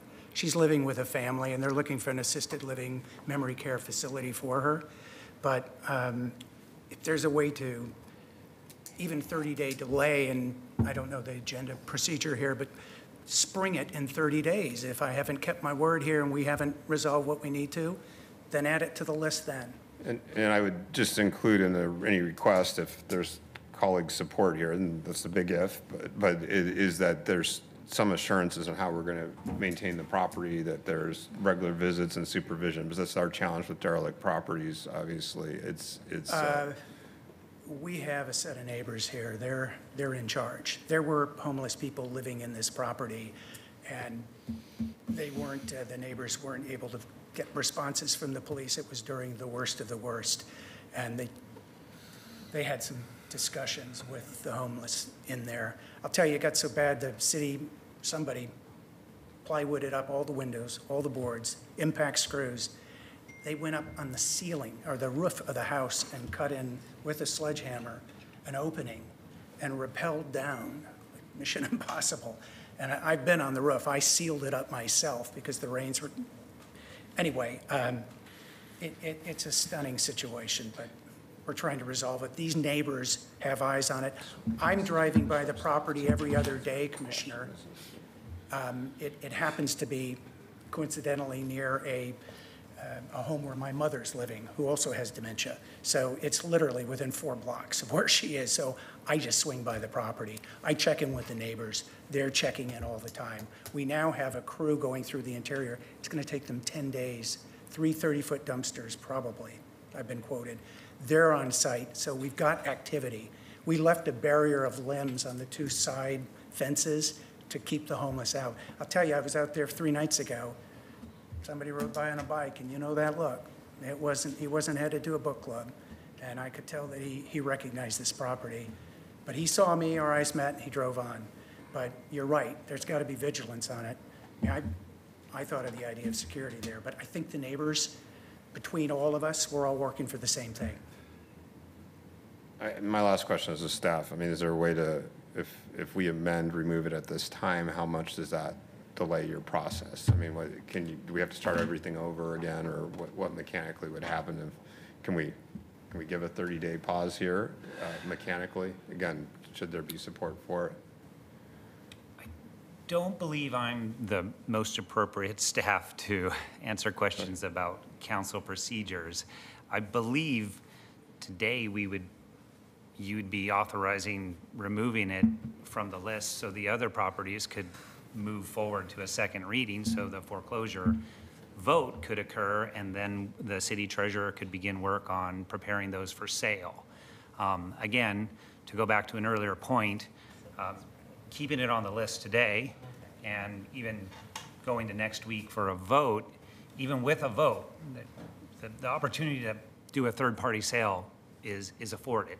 That, that work can continue, and the, the city treasurer has timelines they have to meet with notice to prepare a sale. It's, I think it's 60 to 90 days before we could even schedule a sale. So there is time afforded for um, everything to happen in terms of liquidating, selling the property, maximizing the return, um, if foreclosure today and with a vote continues. I mean, I guess the other option is, can we just say that we're going to do, take longer than 60 to 90 on this particular property? I mean, I mean, I guess the other option is to approve it now or approve it in the second reading, I should be more precise, but, and can we just commit that we give a longer period of time here? 'Cause The optimal, I think, for everyone is going to be a third-party sell. Uh, it- it- I think, you know, is, is my assumption here. You know, the only thing I'd add is I, I wouldn't be here today if somebody, I had reached somebody at BDS in the third week of August. If I'd had a return call, if I had had the right number to begin with, I don't need that much time. I imagine you and I could get this settled in, out in the hallway. Whatever the lien amount is, I just want to try to resolve it because it includes a- lot of penalties because they kept doubling when those notices weren't responded to. Of course they are. So we're, we're- I, I don't mean to push us, but it seems like we're, we're making a lot of the same points over and over again. Um, I tend to did do that that. finish your questioning? I think so for Gonzalez, right now. Commissioner Ryan, and then Commissioner Mapps? Yeah, because second readings are often quiet, I want to acknowledge um, Commissioner Lindberg for being here and you, Beth, on that Killingsworth property, the Nightmare on Killingsworth. I know our office sent you a lot of emails on that matter as well, so that was great to have on this. Um, On this matter, I just would like to put this out there. This is the first reading, so we have a week. It look, can you all like figure this out between this week and next week? And then if we have a well-thought-out amendment, um, we could uh, deal with that next week. I just don't feel comfortable with a walk-on amendment at this moment. I've learned my lesson on those, I'm sure we all have. And so I do think that there's merit in this dialogue that's taking place, but us trying to figure it out in the emotion of this uh, moment just doesn't seem like a wise idea. So I would be looking forward to the staff getting back to us. I'm looking at you, Commissioner Rubio, because I know you're on it. So does that make any sense? Yeah, that I, that, I appreciate that um, suggestion, and I would encourage that if, if, if staff can Thank you. figure out before Thank the you. next reading. Thank you, Mr. Baker. Could you just clarify something for me? You, you said she has no existing family, is that accurate? To my knowledge, she has no parents. Um, Her brother, her only brother passed away. Her husband died. I'm totally. Neither she nor her brother had children, so there's no nephews. La- Later on, you said she's living with family members? She's living with a family. She's living A with. family, but she's not living- her family. Not her family, Got no. it. In fact, Okay. she's not even in Oregon now. She's temporarily down in San Jose with this family. They're trying to find an assisted living facility for her. It, it gets more complicated. All right, very, very good. But she has And- no and, family. She, um, she literally was just out there. F- Fair enough, and I'll, I'll put all my cards on the table. Um, I disagree with you, but I may take one of your business cards for future reference. Uh, I, I appreciate your advocacy. Um, I, I, you know, my personal view is we should move forward with the process, and if you can swing a miracle, great. The, the process leaves plenty of flexibility. Again, uh, the burden is on government in the foreclosure process, and there are many, many opportunities for those who are being foreclosed upon to stop the process, reverse the process, whatever. And, and you have that opportunity, but my, my strong recommendation is that we move forward as we proceed. Uh, Colleagues, with that, I'd, I'd like to uh, vote on the amendments before I move this to second. The first amendment was to remove property number nine. Keelan, did you have a question? Nope. Call the roll. Gonzalez, Aye. Mapps, Aye. Rubio, Aye. Ryan, Aye. Wheeler. Aye. The amendment's adopted. Colleagues, uh, is there further discussion on the second amendment, which was to remove property number three from the list? Seeing none, call the roll. Gonzalez. Aye. Knox. Aye. Rubio. Aye. Ryan. Aye. Wheeler. Aye. Amendment's adopted. Finally, the uh, amendment to update the title of the ordinance. Any further discussion? Seeing none, please call the roll. Gonzalez. Aye. Knox. Aye. Rubio. Aye. Ryan. Aye. Wheeler. Aye. The amendment is adopted. I want to thank everybody for their testimony. Mr. Baker, thank you for being here and provoking what I, I thought was a really valuable conversation. I want to thank staff for their hard work on this. This is a first reading of a non-emergency ordinance. It moves to second reading as amended. Last item, colleagues, Oh, yeah. 768, a pulled consent agenda item. Amend business license law code to require certain tax returns be filed electronically. Colleagues, not all tax software providers make city tax forms available online, which inhibits tax preparers' ability to file electronically. This item would mandate electronic filing for tax professionals in alignment with requirements at the state and federal level. Uh, Folks, folks, we're, we're still in session here, thank you. Uh, In alignment with requirements at the state and federal level and would result in an increase in form availability from tax software providers. Audit and Accounting Manager Scott Carter and Policy Analyst Don Jones from the Bureau of Revenue and Financial Services are here to answer additional questions about the item. I'm going to turn this over to Commissioner Gonzalez since he had pulled the item to, to get whatever concerns he has out on the table. I just wanted to get a quick overview of this and understand what we're doing in terms of accessibility for English second language speakers, uh, non-primary. Uh, There's always some concerns about digital uh, accessibility in certain communities. Now, it looks like we're doing this to support and encourage software providers to fill the gaps. So I'm just, would like to understand what we're doing to address any language concerns about an all-digital pathway. Great, and I think we have staff somewhere? Online. Online. Oh, there we go. Uh, uh, It looks like we have uh, Scott. Scott, can you unmute? There you are. Yep. Okay, so uh, Thank you. my computer froze up for about the last 30 seconds of what you said, Commissioner Gonzalez. Can you restate it? Yeah, I just want to understand what we're doing to assure accessibility for those that may have uh, language barriers, English as a second language, as well as uh, just how we're uh, sort of addressing digital uh, issues for low income, lower Uh, income. Okay, I- again, I'm Scott Carter. I'm the Audit and Accounting Manager with the Revenue Division. Uh, I, I think as far as the, the electronic filing, I don't know if this, if your question directly relates to that, but that's just one way that, that the return gets to us. But we do have a lot of uh, uh, efforts that go toward making sure our uh, forms, especially the, the most used forms like the arts tax forms, are in uh, uh, several languages. I believe 12 at last count. Uh, we also have uh, an initiative uh, with our uh, business license programs. We've been focusing on uh, providing Spanish uh, instructions and you know pretty robust body of, of, um, of speak you know non non English speakers. And we also are with our online our our alternative way to file online, which is called Pro Portland Revenue Online. We're working on adding uh, Spanish uh, features to that um, regularly, and th- this is something that's been in the forefront with us uh, recently to uh, even take it further. Got it. But the bottom line is we're going to be requiring that these returns be filed electronically. And is, I was just curious if there's, outside of what we're already doing with the respective forms, is there any game plan for addressing English second language? And there's just sometimes a challenge with going all digital for certain communities. I just wanted to make sure we thought through that. that. Yep, we did meet with one of the tax software development companies, their government representative, and they uh, they stated they were uh, um, they were enhancing the non-English components of their ta- tax software packages. Um, we we actually we're we're trying to um, I don't, want to use the word prod, but we're trying to encourage the tax software development companies to include uh, electronic filing in their forms, but they're uh, they're the ones that actually uh, um, address those issues. Um, but it should, you know, things should run so they wouldn't even know that they're they're working with the city. So that the onus would be on the tax soft, software providers to provide that additional um, the additional languages and resources such as those.